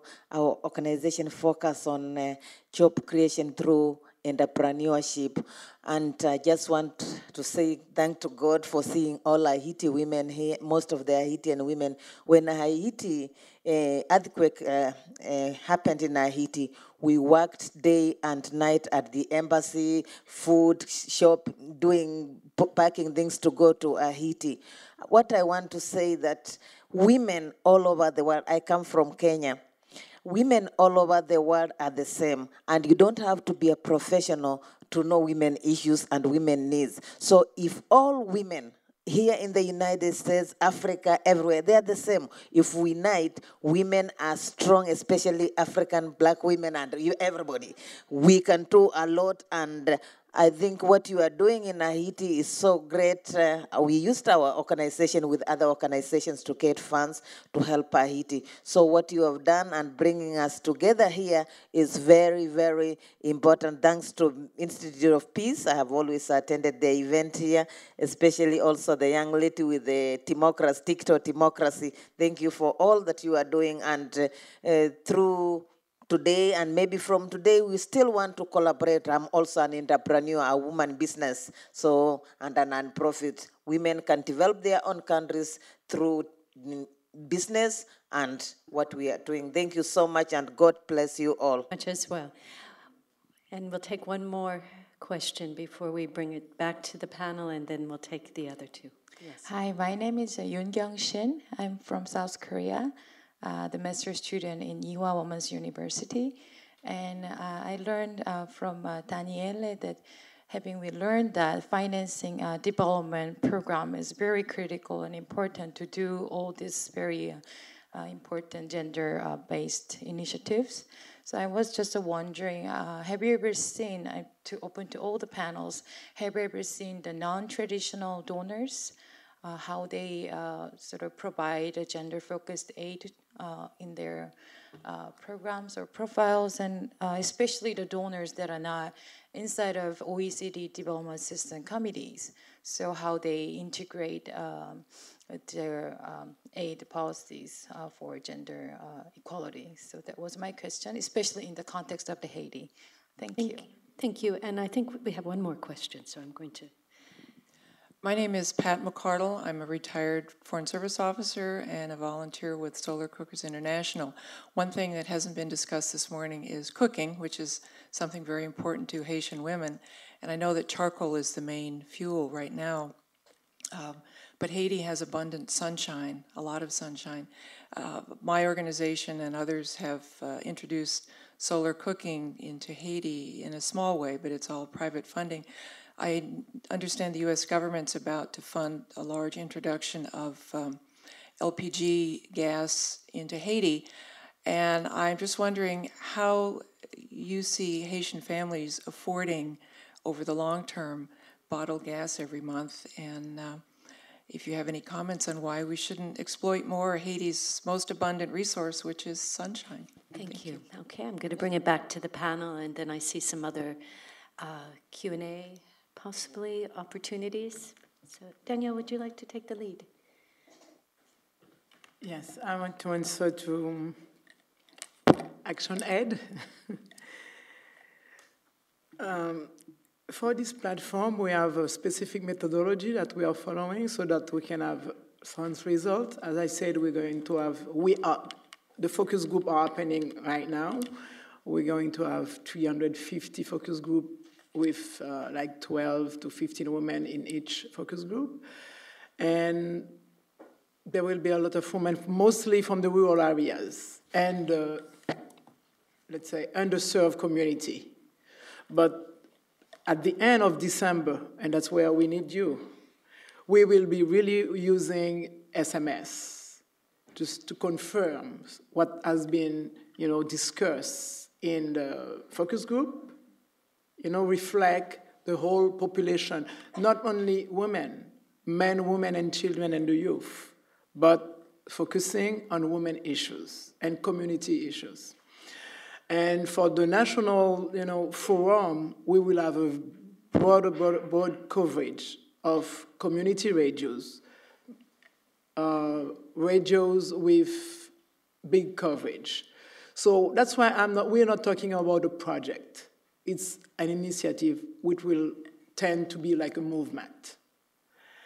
And having the parliamentarians in, involved, it's really the best way to be able to touch the rural, remote, remoted communities because they are the real voices of the people, because they are elected. We are not talking about the one that are funded by drugs money. We are talking about women like Inwan. We're talking about women like Barbara. So that's why we really think that we should build institution. NGO can't build this country. They can help. We have to work with political parties. We have to work with parliament. We have to work with the Women Affairs Ministry so that we can really reach the communities all over the countries. And using the media, it's the really, really important tool that we have. That's the only way, you know, 90% of Haitian politi- poli- uh, population have a radio at home. Michèle or Emily, would you like to weigh in on that? Or on non-traditional donors? Uh, I just I don't have enough uh, enough information on uh, on uh, on the issue. Uh, non-traditional donors, uh, how much impact do they have, and who do they do they really reach? Th- there is one big problem about everything we have been talking about this morning. It's a lack of data, of reliable data about women participation, about violence. You know, uh, I think uh, uh, something was said earlier. I mean, violence is not, when they talk about Haiti, they see violence. But when you, we take Haiti in the context of the, the continent, Haiti is certainly not the most violent country in the, the whole area. So I think it's uh, uh, uh, the lack of data is one of the main prob- problems we have in dealing with whether it is international aid, whether it is uh, you know, the, the, the, problems that women are confronting. Uh, how are we going to get uh, that data is difficult. In the case of Haiti, it's not just about women. We just are lacking data on a number of, of issues and problems. And uh, we cannot really uh, pick up the challenges and face them if we don't have that data. Maybe Danielle has some more on this. As you said, there is no data. But talking about non-traditional, you know, donors, I would like to talk about the experience that we had after the earthquake. Uh, our organization is 10 years old. We have been supported by the IDB, the USAID, European Community, uh, European Community, and different donors and the private sector. But after the earthquake, you know, we are almost closing our doors because we couldn't pay our staff, we couldn't, you know. And actress Maria Bello, a friend from before the earthquake. So she had a designer make a pendant and raise money for us. It was nothing. It was like forty, forty-five thousand dollars. But I can tell you, it was like four hundred fifty thousand at this moment. And I and I see what her team and her are realizing at Cité Soleil, in Wharf Jérémie, where no NGO want to be because of the violence. Now, Alida, may, you may talk about what you're doing.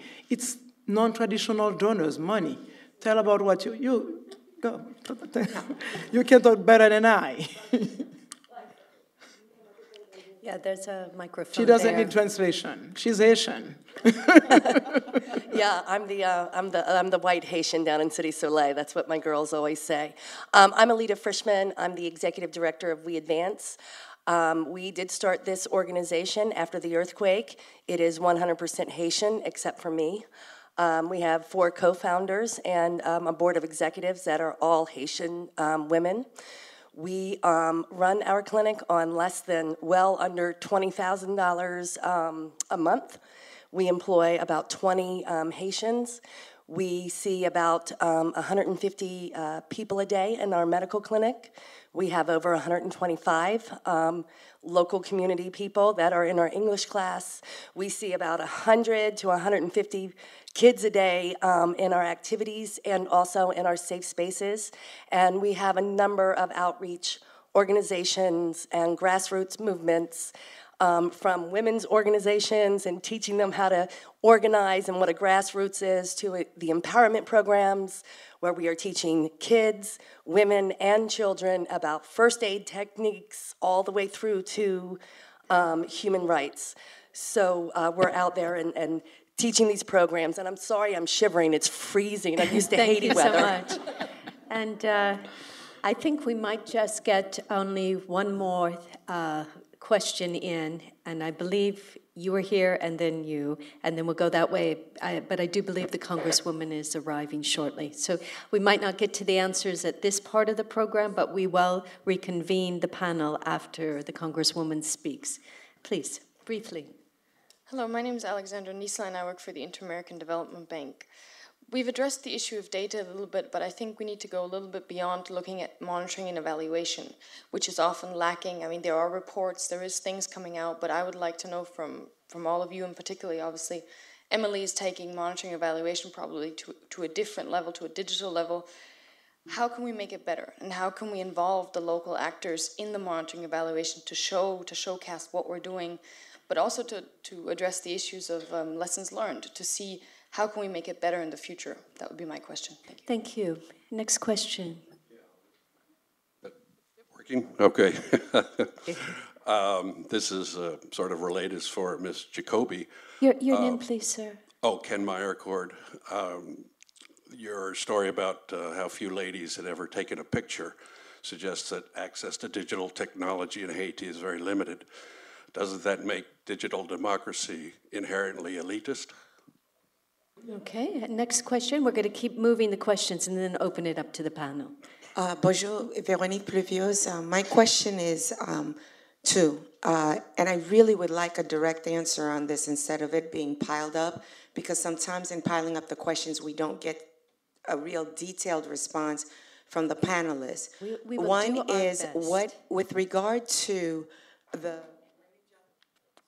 Hello? The women legislators and Madame Saint-Lot, Madame Montas, and others, have any of you been specifically contacted um, and inquired and provided in detail what you would recommend to international donors who disproportionately support Haiti? What exactly you would recommend for the improved governance of all of Haiti. And I would really like it if you could share that with us because part of the challenge is that people say we should talk to the women, we should involve them, but we never really have any evidence that people are actually taking your suggestions and incorporating them into their plans. So if the senator and the women in uh, authority in Haiti could answer that, that would be great. And in answering, can you please give some recommendations to frustrated members of the Haitian diaspora who want to see how they can be helpful, but are feeling frustrated both by actors here as well as actors in Haiti? Thank you. Thank you very much. And we will come back to your question. We have our uh, Congresswoman who has arrived, and we are going to shift the program, and then we will come back together as a panel. Thank you all for the very good questions, and we have them here in front of us. Bob, I'm going to turn it back over to you. Thanks very much. I have a weather report for you. I hope you all brought your umbrellas. It's raining very heavily outside, and we're very grateful to Congresswoman Edwards for having swam through the rain to get here this morning to be with us. I'd like to uh, introduce to you the uh, President of the United States Institute of Peace, Dr. Richard Solomon.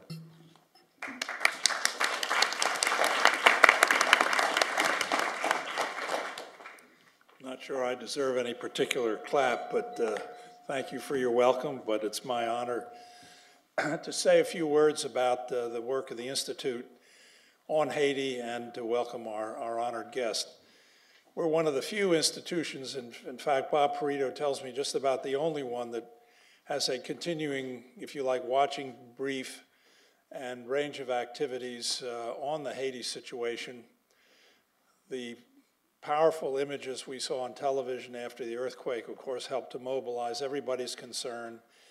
And we were fortunate that uh, Bob, given his expertise and his constant involvement on issues related to Haiti, was able to help the U.S. Navy uh, as it mobilized relief supplies and otherwise tried to help uh, deal with the aftermath uh, of the earthquake. And of course, the other aspect of our work is reflected in the panel discussion and uh, the work here today. Uh, Kathleen Kuehnast, who uh, leads our work on uh, gender issues and peace building, uh, has, uh, I think, helped to keep everyone focused on, on this set of issues. Indeed, she met with Congresswoman Edwards up on the Hill not too long ago. Uh, they were talking about issues of how we could help uh, the women in Afghanistan contribute to stabilizing that very difficult uh, situation. But let me uh, say a few words about uh, Congresswoman woman, Edwards.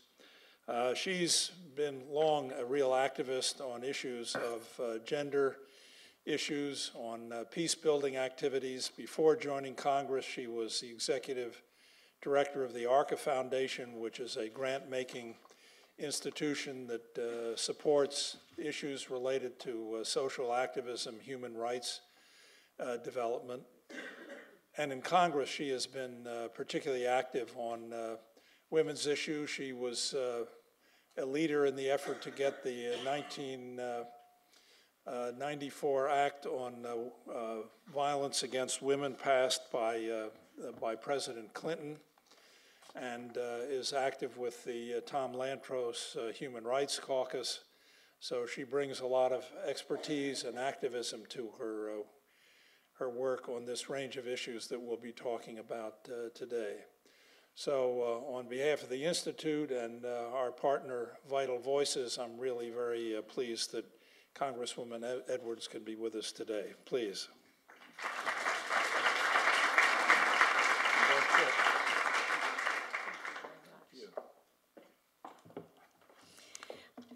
Thank you very much, Ambassador Solomon. And it's actually really wonderful to be here at the U.S. Institute uh, for Peace. And of course, the work that I've known that um, the Institute has done for many years uh, in my days at ARCA and before. And it's a really uh, delight to be able to celebrate that with you here today. And I'm uh, particularly grateful to be here also with uh, my good friends from Vital Voices. Um, when I was at the ARCA Foundation, I think we made one of the first foundation grants to Vital Voices as it was um, starting up, supporting um, the um, investment in women that I think is really important all over the world. I mean, it shouldn't be a surprise that uh, I've taken a particular focus on women in Afghanistan, but also women in Haiti and women uh, throughout the world because uh, we've all read the reports over the years about the importance of investing in women because women invest in communities, they invest in their families, they build nations. Um, but very often we haven't uh, done that in a way that um, makes sense and that proves the words of what that investment can mean. Um, and you know, I don't, not to be disparaging, but I do think that we give a lot of lip service. I could hear some of that uh, from the comments as I came in about the importance invest, of investing in women and the importance of women in Haiti, uh, but we haven't really put the meat um, to that uh, to that bone. We haven't made certain that those investments are done in a kind of way that really will help uh, the uh, help Haitian women to be a real part of rebuilding Haiti so that it uh, thrives and survives in the 21st century.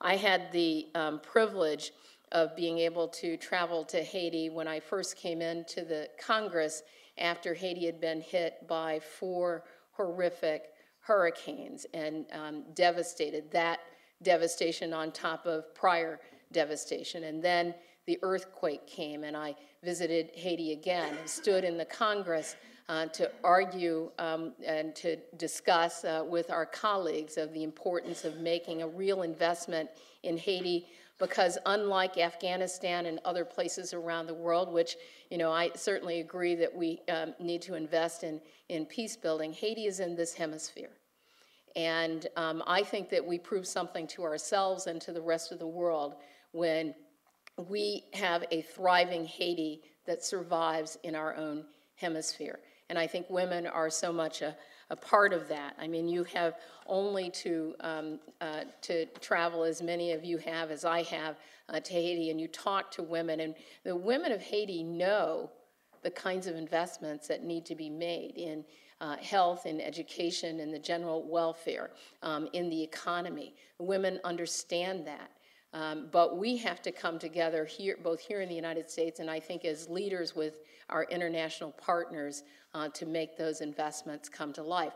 Also, investing in the political life of women in Haiti, and most especially uh, the political life of the women of Haiti. Uh, I, I, when I think about the devastation that occurred after the earthquake, I think for so many of us, it meant also an opportunity, tragedy, but an opportunity to rethink how it is that we can help uh, Haiti recover and build in this new century. Um, and unfortunately, there, um, as has happened in the past, our attention on Haiti has waxed and waned. Um, and this has been the story of the United States relationship with Haiti for, uh, for so long. I think that we have to change that story. Um, we have to change that story by making sure that uh, when we're paying attention to what happens in individual communities in Haiti, that both in terms of investing in uh, women's ability to participate in the political process, that they also have to be able to do that uh, safely. Uh, to participate in their communities, they have to be able to do that safely. Uh, in part of my interest, it isn't just a foreign interest um, to me, but my interest in the women of Haiti actually comes from women who live in the 4th Congressional District in Maryland, the women who form uh, the Haitian diaspora who live in Silver Spring and Gaithersburg and all throughout uh, Prince George's County. And their voices have been heard by uh, members of Congress like me who ordinarily, um, on the face of it, would not have to take an interest in what happens with the women in Haiti. I think about the women who are members of a church in uh, downtown Silver Spring who came to me and said, Please, what is it that you can do? Um, what is it that you, how is it that you can get your colleagues in the Congress to understand what it is that we need to do from a development and economic development perspective to assist women in thriving um, and thriving in our home country. And they weren't talking about what it is that we could give. They were talking about uh, an investment that could be made in the women of Haiti that would allow them uh, to determine for themselves their uh, political, economic, and, uh, and, and health future. And so that's what I'd like to share with you today. I think that uh, for certain, when women are um, armed with both information and resources, they can figure out the things to do for themselves. I mean, I look, I, when I visited um, Haiti this last, uh, this last time, I met with women who are doing um, they're doing work on anti violence against women. They're doing uh, work to help uh, surviving children in, in orphanages. They're doing work uh, to help uh, build their economic uh, future. That work is not foreign to them, um, but they can't do it all by them all by themselves and they have to know that we're all prepared to invest in uh, in the kinds of democratic institutions that will allow them to survive and to, and to thrive. Um, and we know that, you know, these, that the emergencies that occur um, sometimes are really rooted in, in, in gender-based violence in Haiti, but also around the world. And so we can't separate those things that are such a presence in women's lives from what it takes to invest in what will help them um, help them to survive. In the, the wake of the um, the earthquake, we know that women have faced, faced really difficult um, circumstances that um, have been in, in, existence for a long time, but have been exacerbated um, by the tragedy, by the disaster, and by a lack of aid that comes in the most useful way. Um, when I, um, I visited one encampment outside, just outside of Port-au-Prince, and uh, when I talked to, I remember speaking with um, a young mother, and um, she had two of her children, but she had been separated um, from one of her children. She had skills that she could use, perhaps to earn a living, but had nowhere um, to get to and to buy equipment in order to um, in order to do that. And when when we asked, um, and I was with our um, with Congressman Hoyer, with our uh, then Majority Whip at the at the time, and when we asked her what it is that she needed, she didn't say to us that uh, what she needed was for us to just give her something. What she said is that she knows how to take care of her children. She knows how to take care of her family. She wants to work to do that. And she wants to know that there are people in government, in her own government, who understand, uh, who, who are there and who understand her needs, but she needed us to know that as well because um, and and it was amazing because there was a pride about her um, that all of us understand in our own in our own lives, uh, and not because we wanted somebody just to give us something, but because we knew we had the capacity within ourselves to make our lives better for our our children.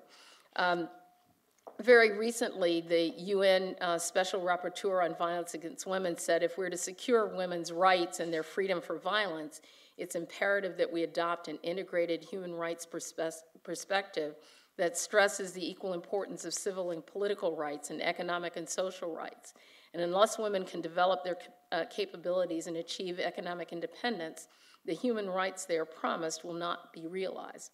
This is especially true um, in Haiti, given its violence and uh, violence plagued history. We also know that uh, violence, in some ways, is might be thought of as inevitable, we have to ensure that the institutions on the ground have the capacity to deal with that violence. And as the government continues to deal with overwhelming challenges of rebuilding an economy and um, and uh, cholera outbreak and other kinds of uh, horrific health outcomes, it's really important for us to look at this transition opportunity that we have to rethink the lives of women and girls in Haiti. It is perhaps uh, you know, a moment that we could not have predicted um, several years ago, but it really is an opportunity. I often think, though, in the, um, and especially in these times in the Congress when we are almost every day arguing to uh, gut every bit of foreign aid that we, um, that we provide, that we have a real challenge in this country of helping people to understand the value of that aid. But we also have an obligation to make sure that that assistance goes out in a way that there is, in fact, value for it. And we need people on the ground, and especially in Haiti, we need women on the ground validating uh, that the way in which they've received assistance actually has value in their lives. I'm not always certain uh, that we can, uh, can point to that. I think one of the uh, concerns that I expressed when I last visited Haiti is that we, uh, as we've taken in so many other countries, have taken this sort of programmatic um, or project-based um, approach rather than a programmatic based approach. And so we fund a project here and we fund a project there, and then we hope that somehow those projects all knit together to make a difference, when in fact, we have to take a much longer view, making investments that may not actually pay off this year or next year, but down the line because you've made those kinds of uh, kinds of investments will. I think um, with respect to uh, to Haiti, that is very often what we've done, not just over a year or two, it's what we've done over decades. Um, a hit or miss project here or there that doesn't quite knit into a fabric of a program that's going to make a difference in people's lives. I think it is fundamentally a different way that you approach uh, foreign assistance. And obviously, in the, um, the constrained fiscal environment in which we are, um, you know, it, what is a, in effect, you know, sort of a small country in Haiti becomes a much larger issue from a, a, a funding perspective, but it's in our, um, our unique national interest, and not just security interest, but our national interest in this hemisphere to make those kinds of investments in uh, communities and on, on the ground that will pay off over the long, over the long term. Um, I, I, I, I think you know, one of the other challenges that uh, that we have is also hearing from the voices of women um, in communities. Uh, too often, and this, uh, this actually happened more um, most recently um, on, in some of our discussions, some members of the Congressional Black Caucus who've had, long had an uh, interest in Haiti, in, in which um, we hear from um, an elite group, but we don't really hear from people who are working in communities. And our challenge, if we really are to make people's lives, uh, help people, um, enable people to, uh, to make their lives better, then that communication has to go from what is at an elite level to what's on the ground. Um, and so I, I, I want to um, just close by, by sharing with you that um, I, I believe that in this hemisphere, um, Haiti and the circumstance of Haitian women in their political and economic participation cannot any longer be an afterthought. Um, it actually should be rather embarrassing for us here in the United States to have um, this, um, you know, this country that is so much a part of the fabric of who we are as Americans, um, unable to survive in the way that it needs to in our own backyard. And, uh, and it isn't just about the 4th Congressional District of Maryland, of which I am more day to day and deeply uh, concerned and can hear from the voices of the Haitian diaspora a plea uh, for us not to wax and wane anymore. And I don't think that the women of Haiti can afford that. I think that there's a lot that we can do in, um, in building successful democratic institutions that embrace, um, embrace all of the people of Haiti, including its women. I think that we can help build economic institutions um, and investments that don't continue to rape a country and leave it um, unwhole. Uh, I think that we can also invest in the future of the Haitian children who will be able to grow up in peace and without uh, violence and disease and all of the things that have afflicted past generations. Uh, and that we have to do that in a way that both meets community needs but also listens and responds to the voices on the ground. And so I know that you're going to get back to your panel discussion, but I want to thank you very much for welcoming uh, me here. And I say in some way, I, mean, I, I suppose I should ask: Are any do any of you happen to live in the fourth congressional district in Maryland? Thank you. um, and, and the reason I say that is because I think the final challenge um, for me as a member of Congress, and I know that other members of Congress feel this too, is that when we um, we require ourselves to think outside of our own worlds, to think outside of our own borders of the counties in which we live, that we are challenged uh, by people who only want us to think about what is uniquely right at home and right in our neighborhoods. That's not a world that we can afford. It's actually not a world that Haiti can afford. And, um, and so I would ask all of us to go back to wherever it is um, uh, from which we hail uh, to ask us to think outside of our own borders. And that will be the greatest success uh, for the people of Haiti. It will be a greater success for the women of Haiti. Thank you very much.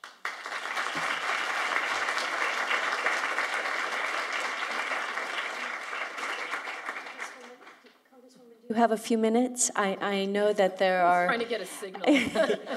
we would love you to uh, stay for a few minutes and join our discussion. I, I actually would like to open up to the panelists uh, in case they might have a comment or question to you, Congresswoman, and then open it up to the audience. We have until 12 noon today. Yes, Bob. Um, Congresswoman Edwards, I'm, I'm actually one of your constituents, so welcome. um, I thought you said something very important when you said that if, if people and, and women in specific have information and resources, they can figure out what to do for themselves. Um, and, and I think sometimes there's a certain paternalism that is enacted in foreign aid as well. Um, I've been doing a lot of work lately on looking at cash transfer and conditional cash transfer programs. They're very successful in Mexico, uh, Brazil, and, and, other countries in the world. And, and I just wonder um, what you, as a someone who holds the purse strings of the U.S. Um, government, in a sense, um, um, what would you think of the idea of um, support of some sort of a cash transfer or conditional cash transfer program in Haiti, which of course would benefit um, many, many women and their families? I, I, I, think that, um, you know, part of the challenge of Haiti being so close and yet so far is that um, our history of experience with Haiti and with, um, with various elements of, of um, various Haitian governments has not, uh, I think it would be a stretch to say that it's been a great success. And I think as a result, there's been a tremendous amount of skepticism about whether uh, programs like that actually um, would work in Haiti. I don't know that I share that skepticism. Um, I also believe in small.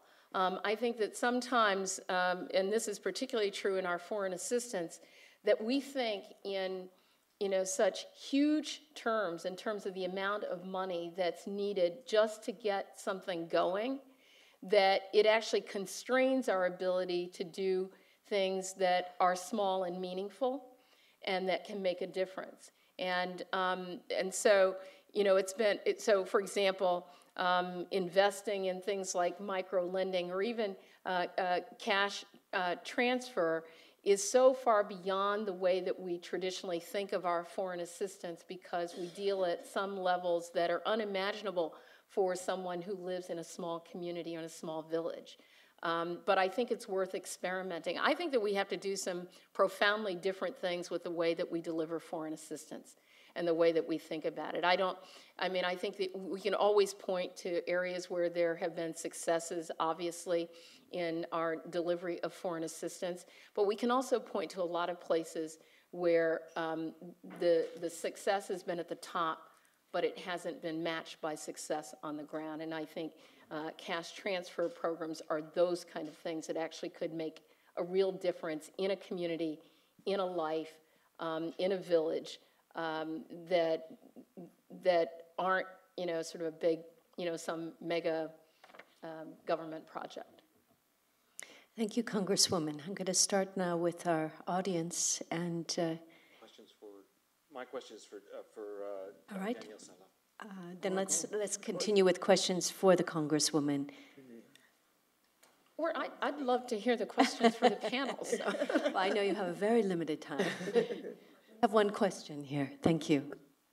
Congresswoman Edwards, uh, thank you for being here today. Uh, my name is Marjorie Brennan, and I direct a um, foundation, the JDT Foundation, which is related to education um, in Haiti. And we've talked a lot today about many things with women. And I keep coming back to the idea of our youth and education, that to a large extent, so much of the issues that are going on can be eventually addressed if you're taking a long term view with educating, particularly women in Haiti. And you discussed some programmatic things that you would like to see happen in Haiti. Is education one of those things? Oh, education definitely is. But I also think that it's true whether it's here in the United States and all over the world. I mean, I've seen this, you know, at work uh, right now in Afghanistan that when you begin to make investment in women's education, that they transfer that investment to their children. And uh, they think about their children's prospects differently.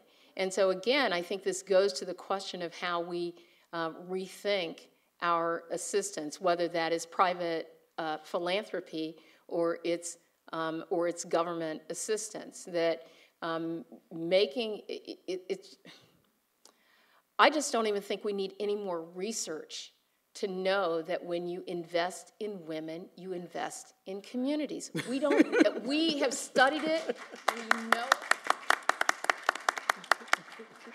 And whether that is about education or it's about economic development or it's about building democracy or I mean you just go down the list and um, and I don't know why we keep trying to uh, think that there's another solution here. And um, you know the people of Vital Voices and so many of our uh, you know really great humanitarian organizations know this because it's their experience. Um, when I was in philanthropy, we knew it um, as well, but we haven't transferred that knowledge in the way that we need to um, to um, to our, our, our, governments. And I think that Secretary Clinton, I have to give her amazing, enormous credit because I think for the really for the first time we have a Department of State, a Secretary of State who actually understands that. And maybe it was Vital Voices that helped her understand that too.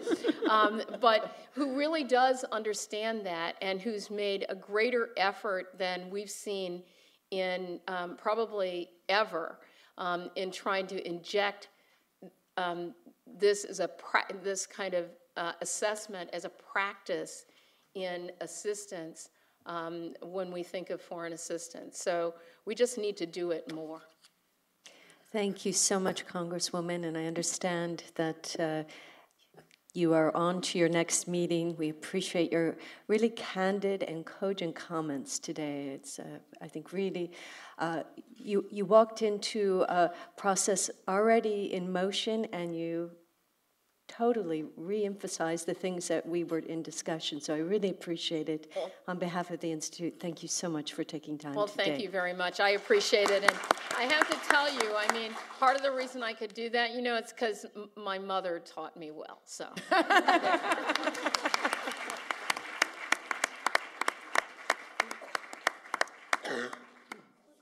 Up from where we uh, left off, and we have our first question in this part of the session. Go ahead, Rusty. Uh, hi, uh, my name is Rusty Barber, and first of all, thanks again to my, my colleagues uh, Kathleen and, and Bob Maguire and Bob Perito for putting on a, a, a terrifically informative event.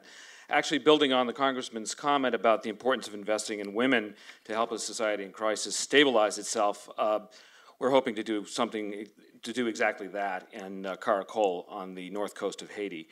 And uh, I have a question specifically for Danielle Saint-Lot, and to set up the question, uh, let me first state that I, am here today on behalf of a of a, uh, a public-private uh, partnership that is establishing, uh, hopes to establish a candle manufacturing facility at Caracol at the industrial park under construction with the assistance of the U.S. government.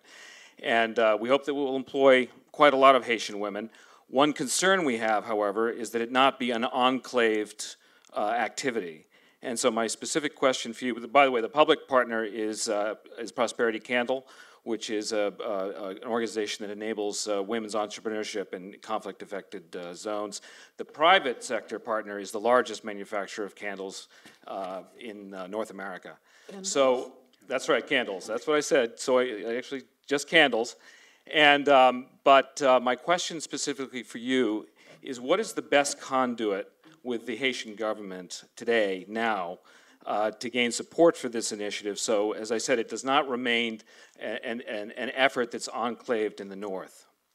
All right, thank you so much. And I'm going to loop around now that we've just brought our, our audience back in, and I'm going to open the panel up to answering the questions just before the Congresswoman arrived. So uh, those questions are on the table as well. And uh, who would like to take the lead? Uh, well, uh, I would. Thanks, uh, Michèle. To answer the, the uh, question that was asked from uh, the young uh, woman from the Haitian diaspora who expressed the frustration of the diaspora of not being able, not knowing how to help. And the question was very direct. She asked us whether we had made any recommendations and whether we had felt that we were, we were heard uh, to international donors for, for instance, improved governance. Um, you know, she was very direct. She wanted a direct answer. Uh, and I think it has been, uh, for me to give a direct answer, uh, I have to say that uh, uh, it has not been easy to really get the international donors to understand the Haitian point, point of view. Uh, I found myself uh, being an international civil servant, but being Haitian, and uh, being implicated, being the special advisor at MINUSTAH, I faced that dilemma over and over again. Uh, when, for instance, you talk about uh, what to do about the displaced in the camps, the, res the, the, response we had from the international community was what they wanted to do is build camps like Cesselesse, which were uh, camps where you had rows of, uh, uh, of uh, uh, tents, one next to the other. And uh, because this is the way they had done in Aceh, this is the way they had done in other places. And I have to say that I share her frustration on this. Uh, I have often felt that the point of view of Haitians, that the displaced preferred to go back to their old neighborhood whenever that was possible, and be given the means to actually themselves rebuild their houses, of course, under certain conditions, uh, this was not heard. So those parallel viewpoints about how uh, the issue of the tents, of the displaced would be handled, uh, I think until now it plagues Haiti.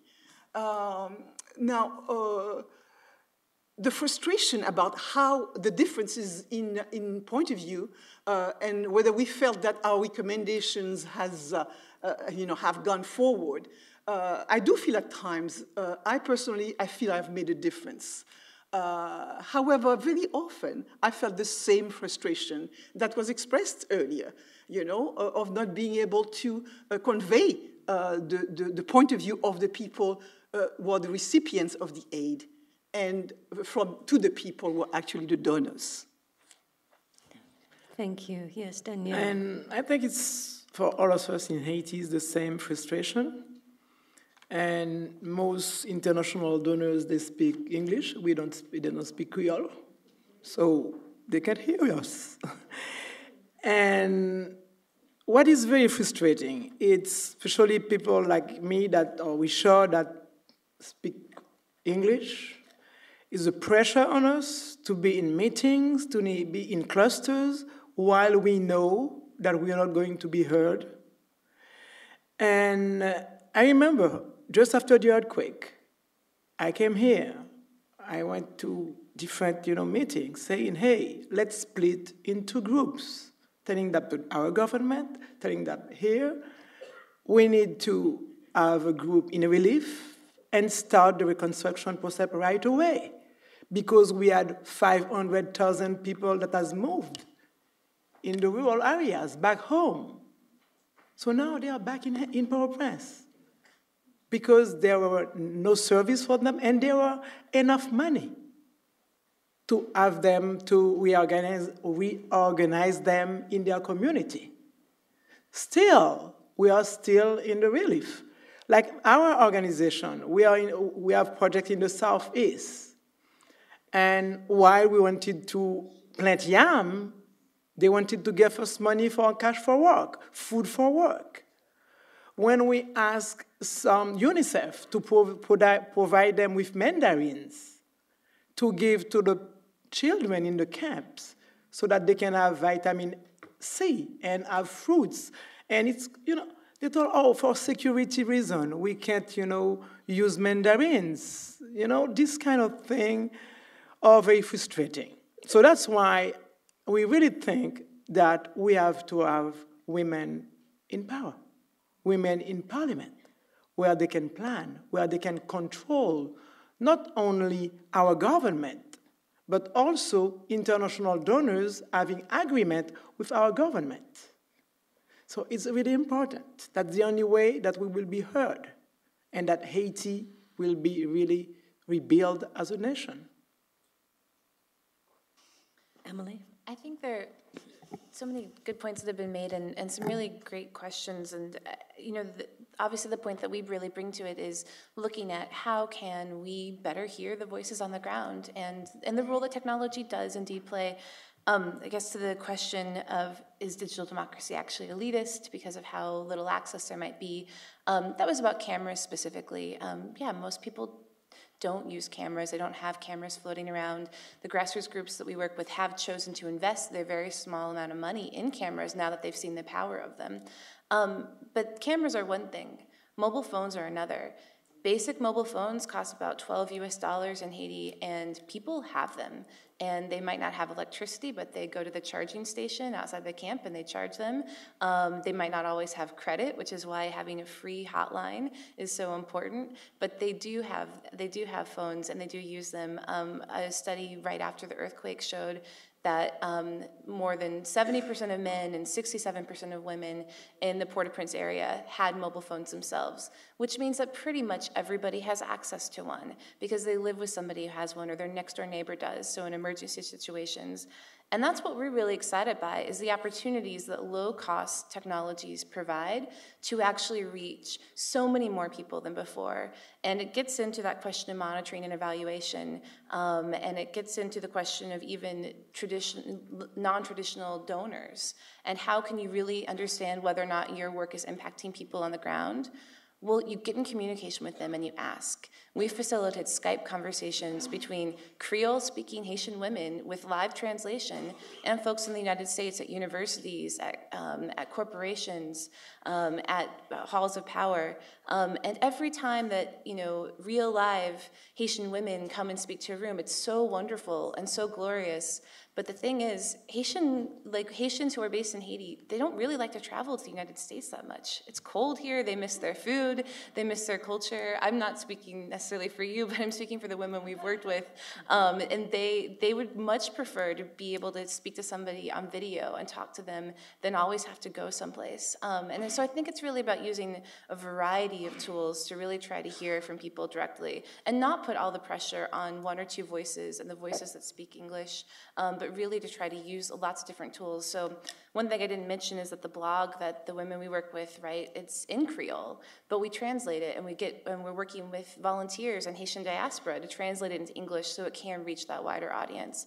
Um, the tweets that they post on Twitter are in Creole, and then they get translated into English. And by doing that, we're actually they're expressing themselves in their own vision. You know, you may have noticed all of the photographs are titled with their Creole title, but then also in English, so that we, the international audience, can understand it.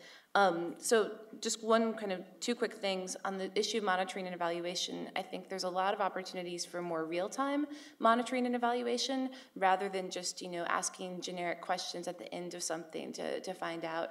And real time can happen by checking in, by sending SMS, um, by uh, you know by really following up with people.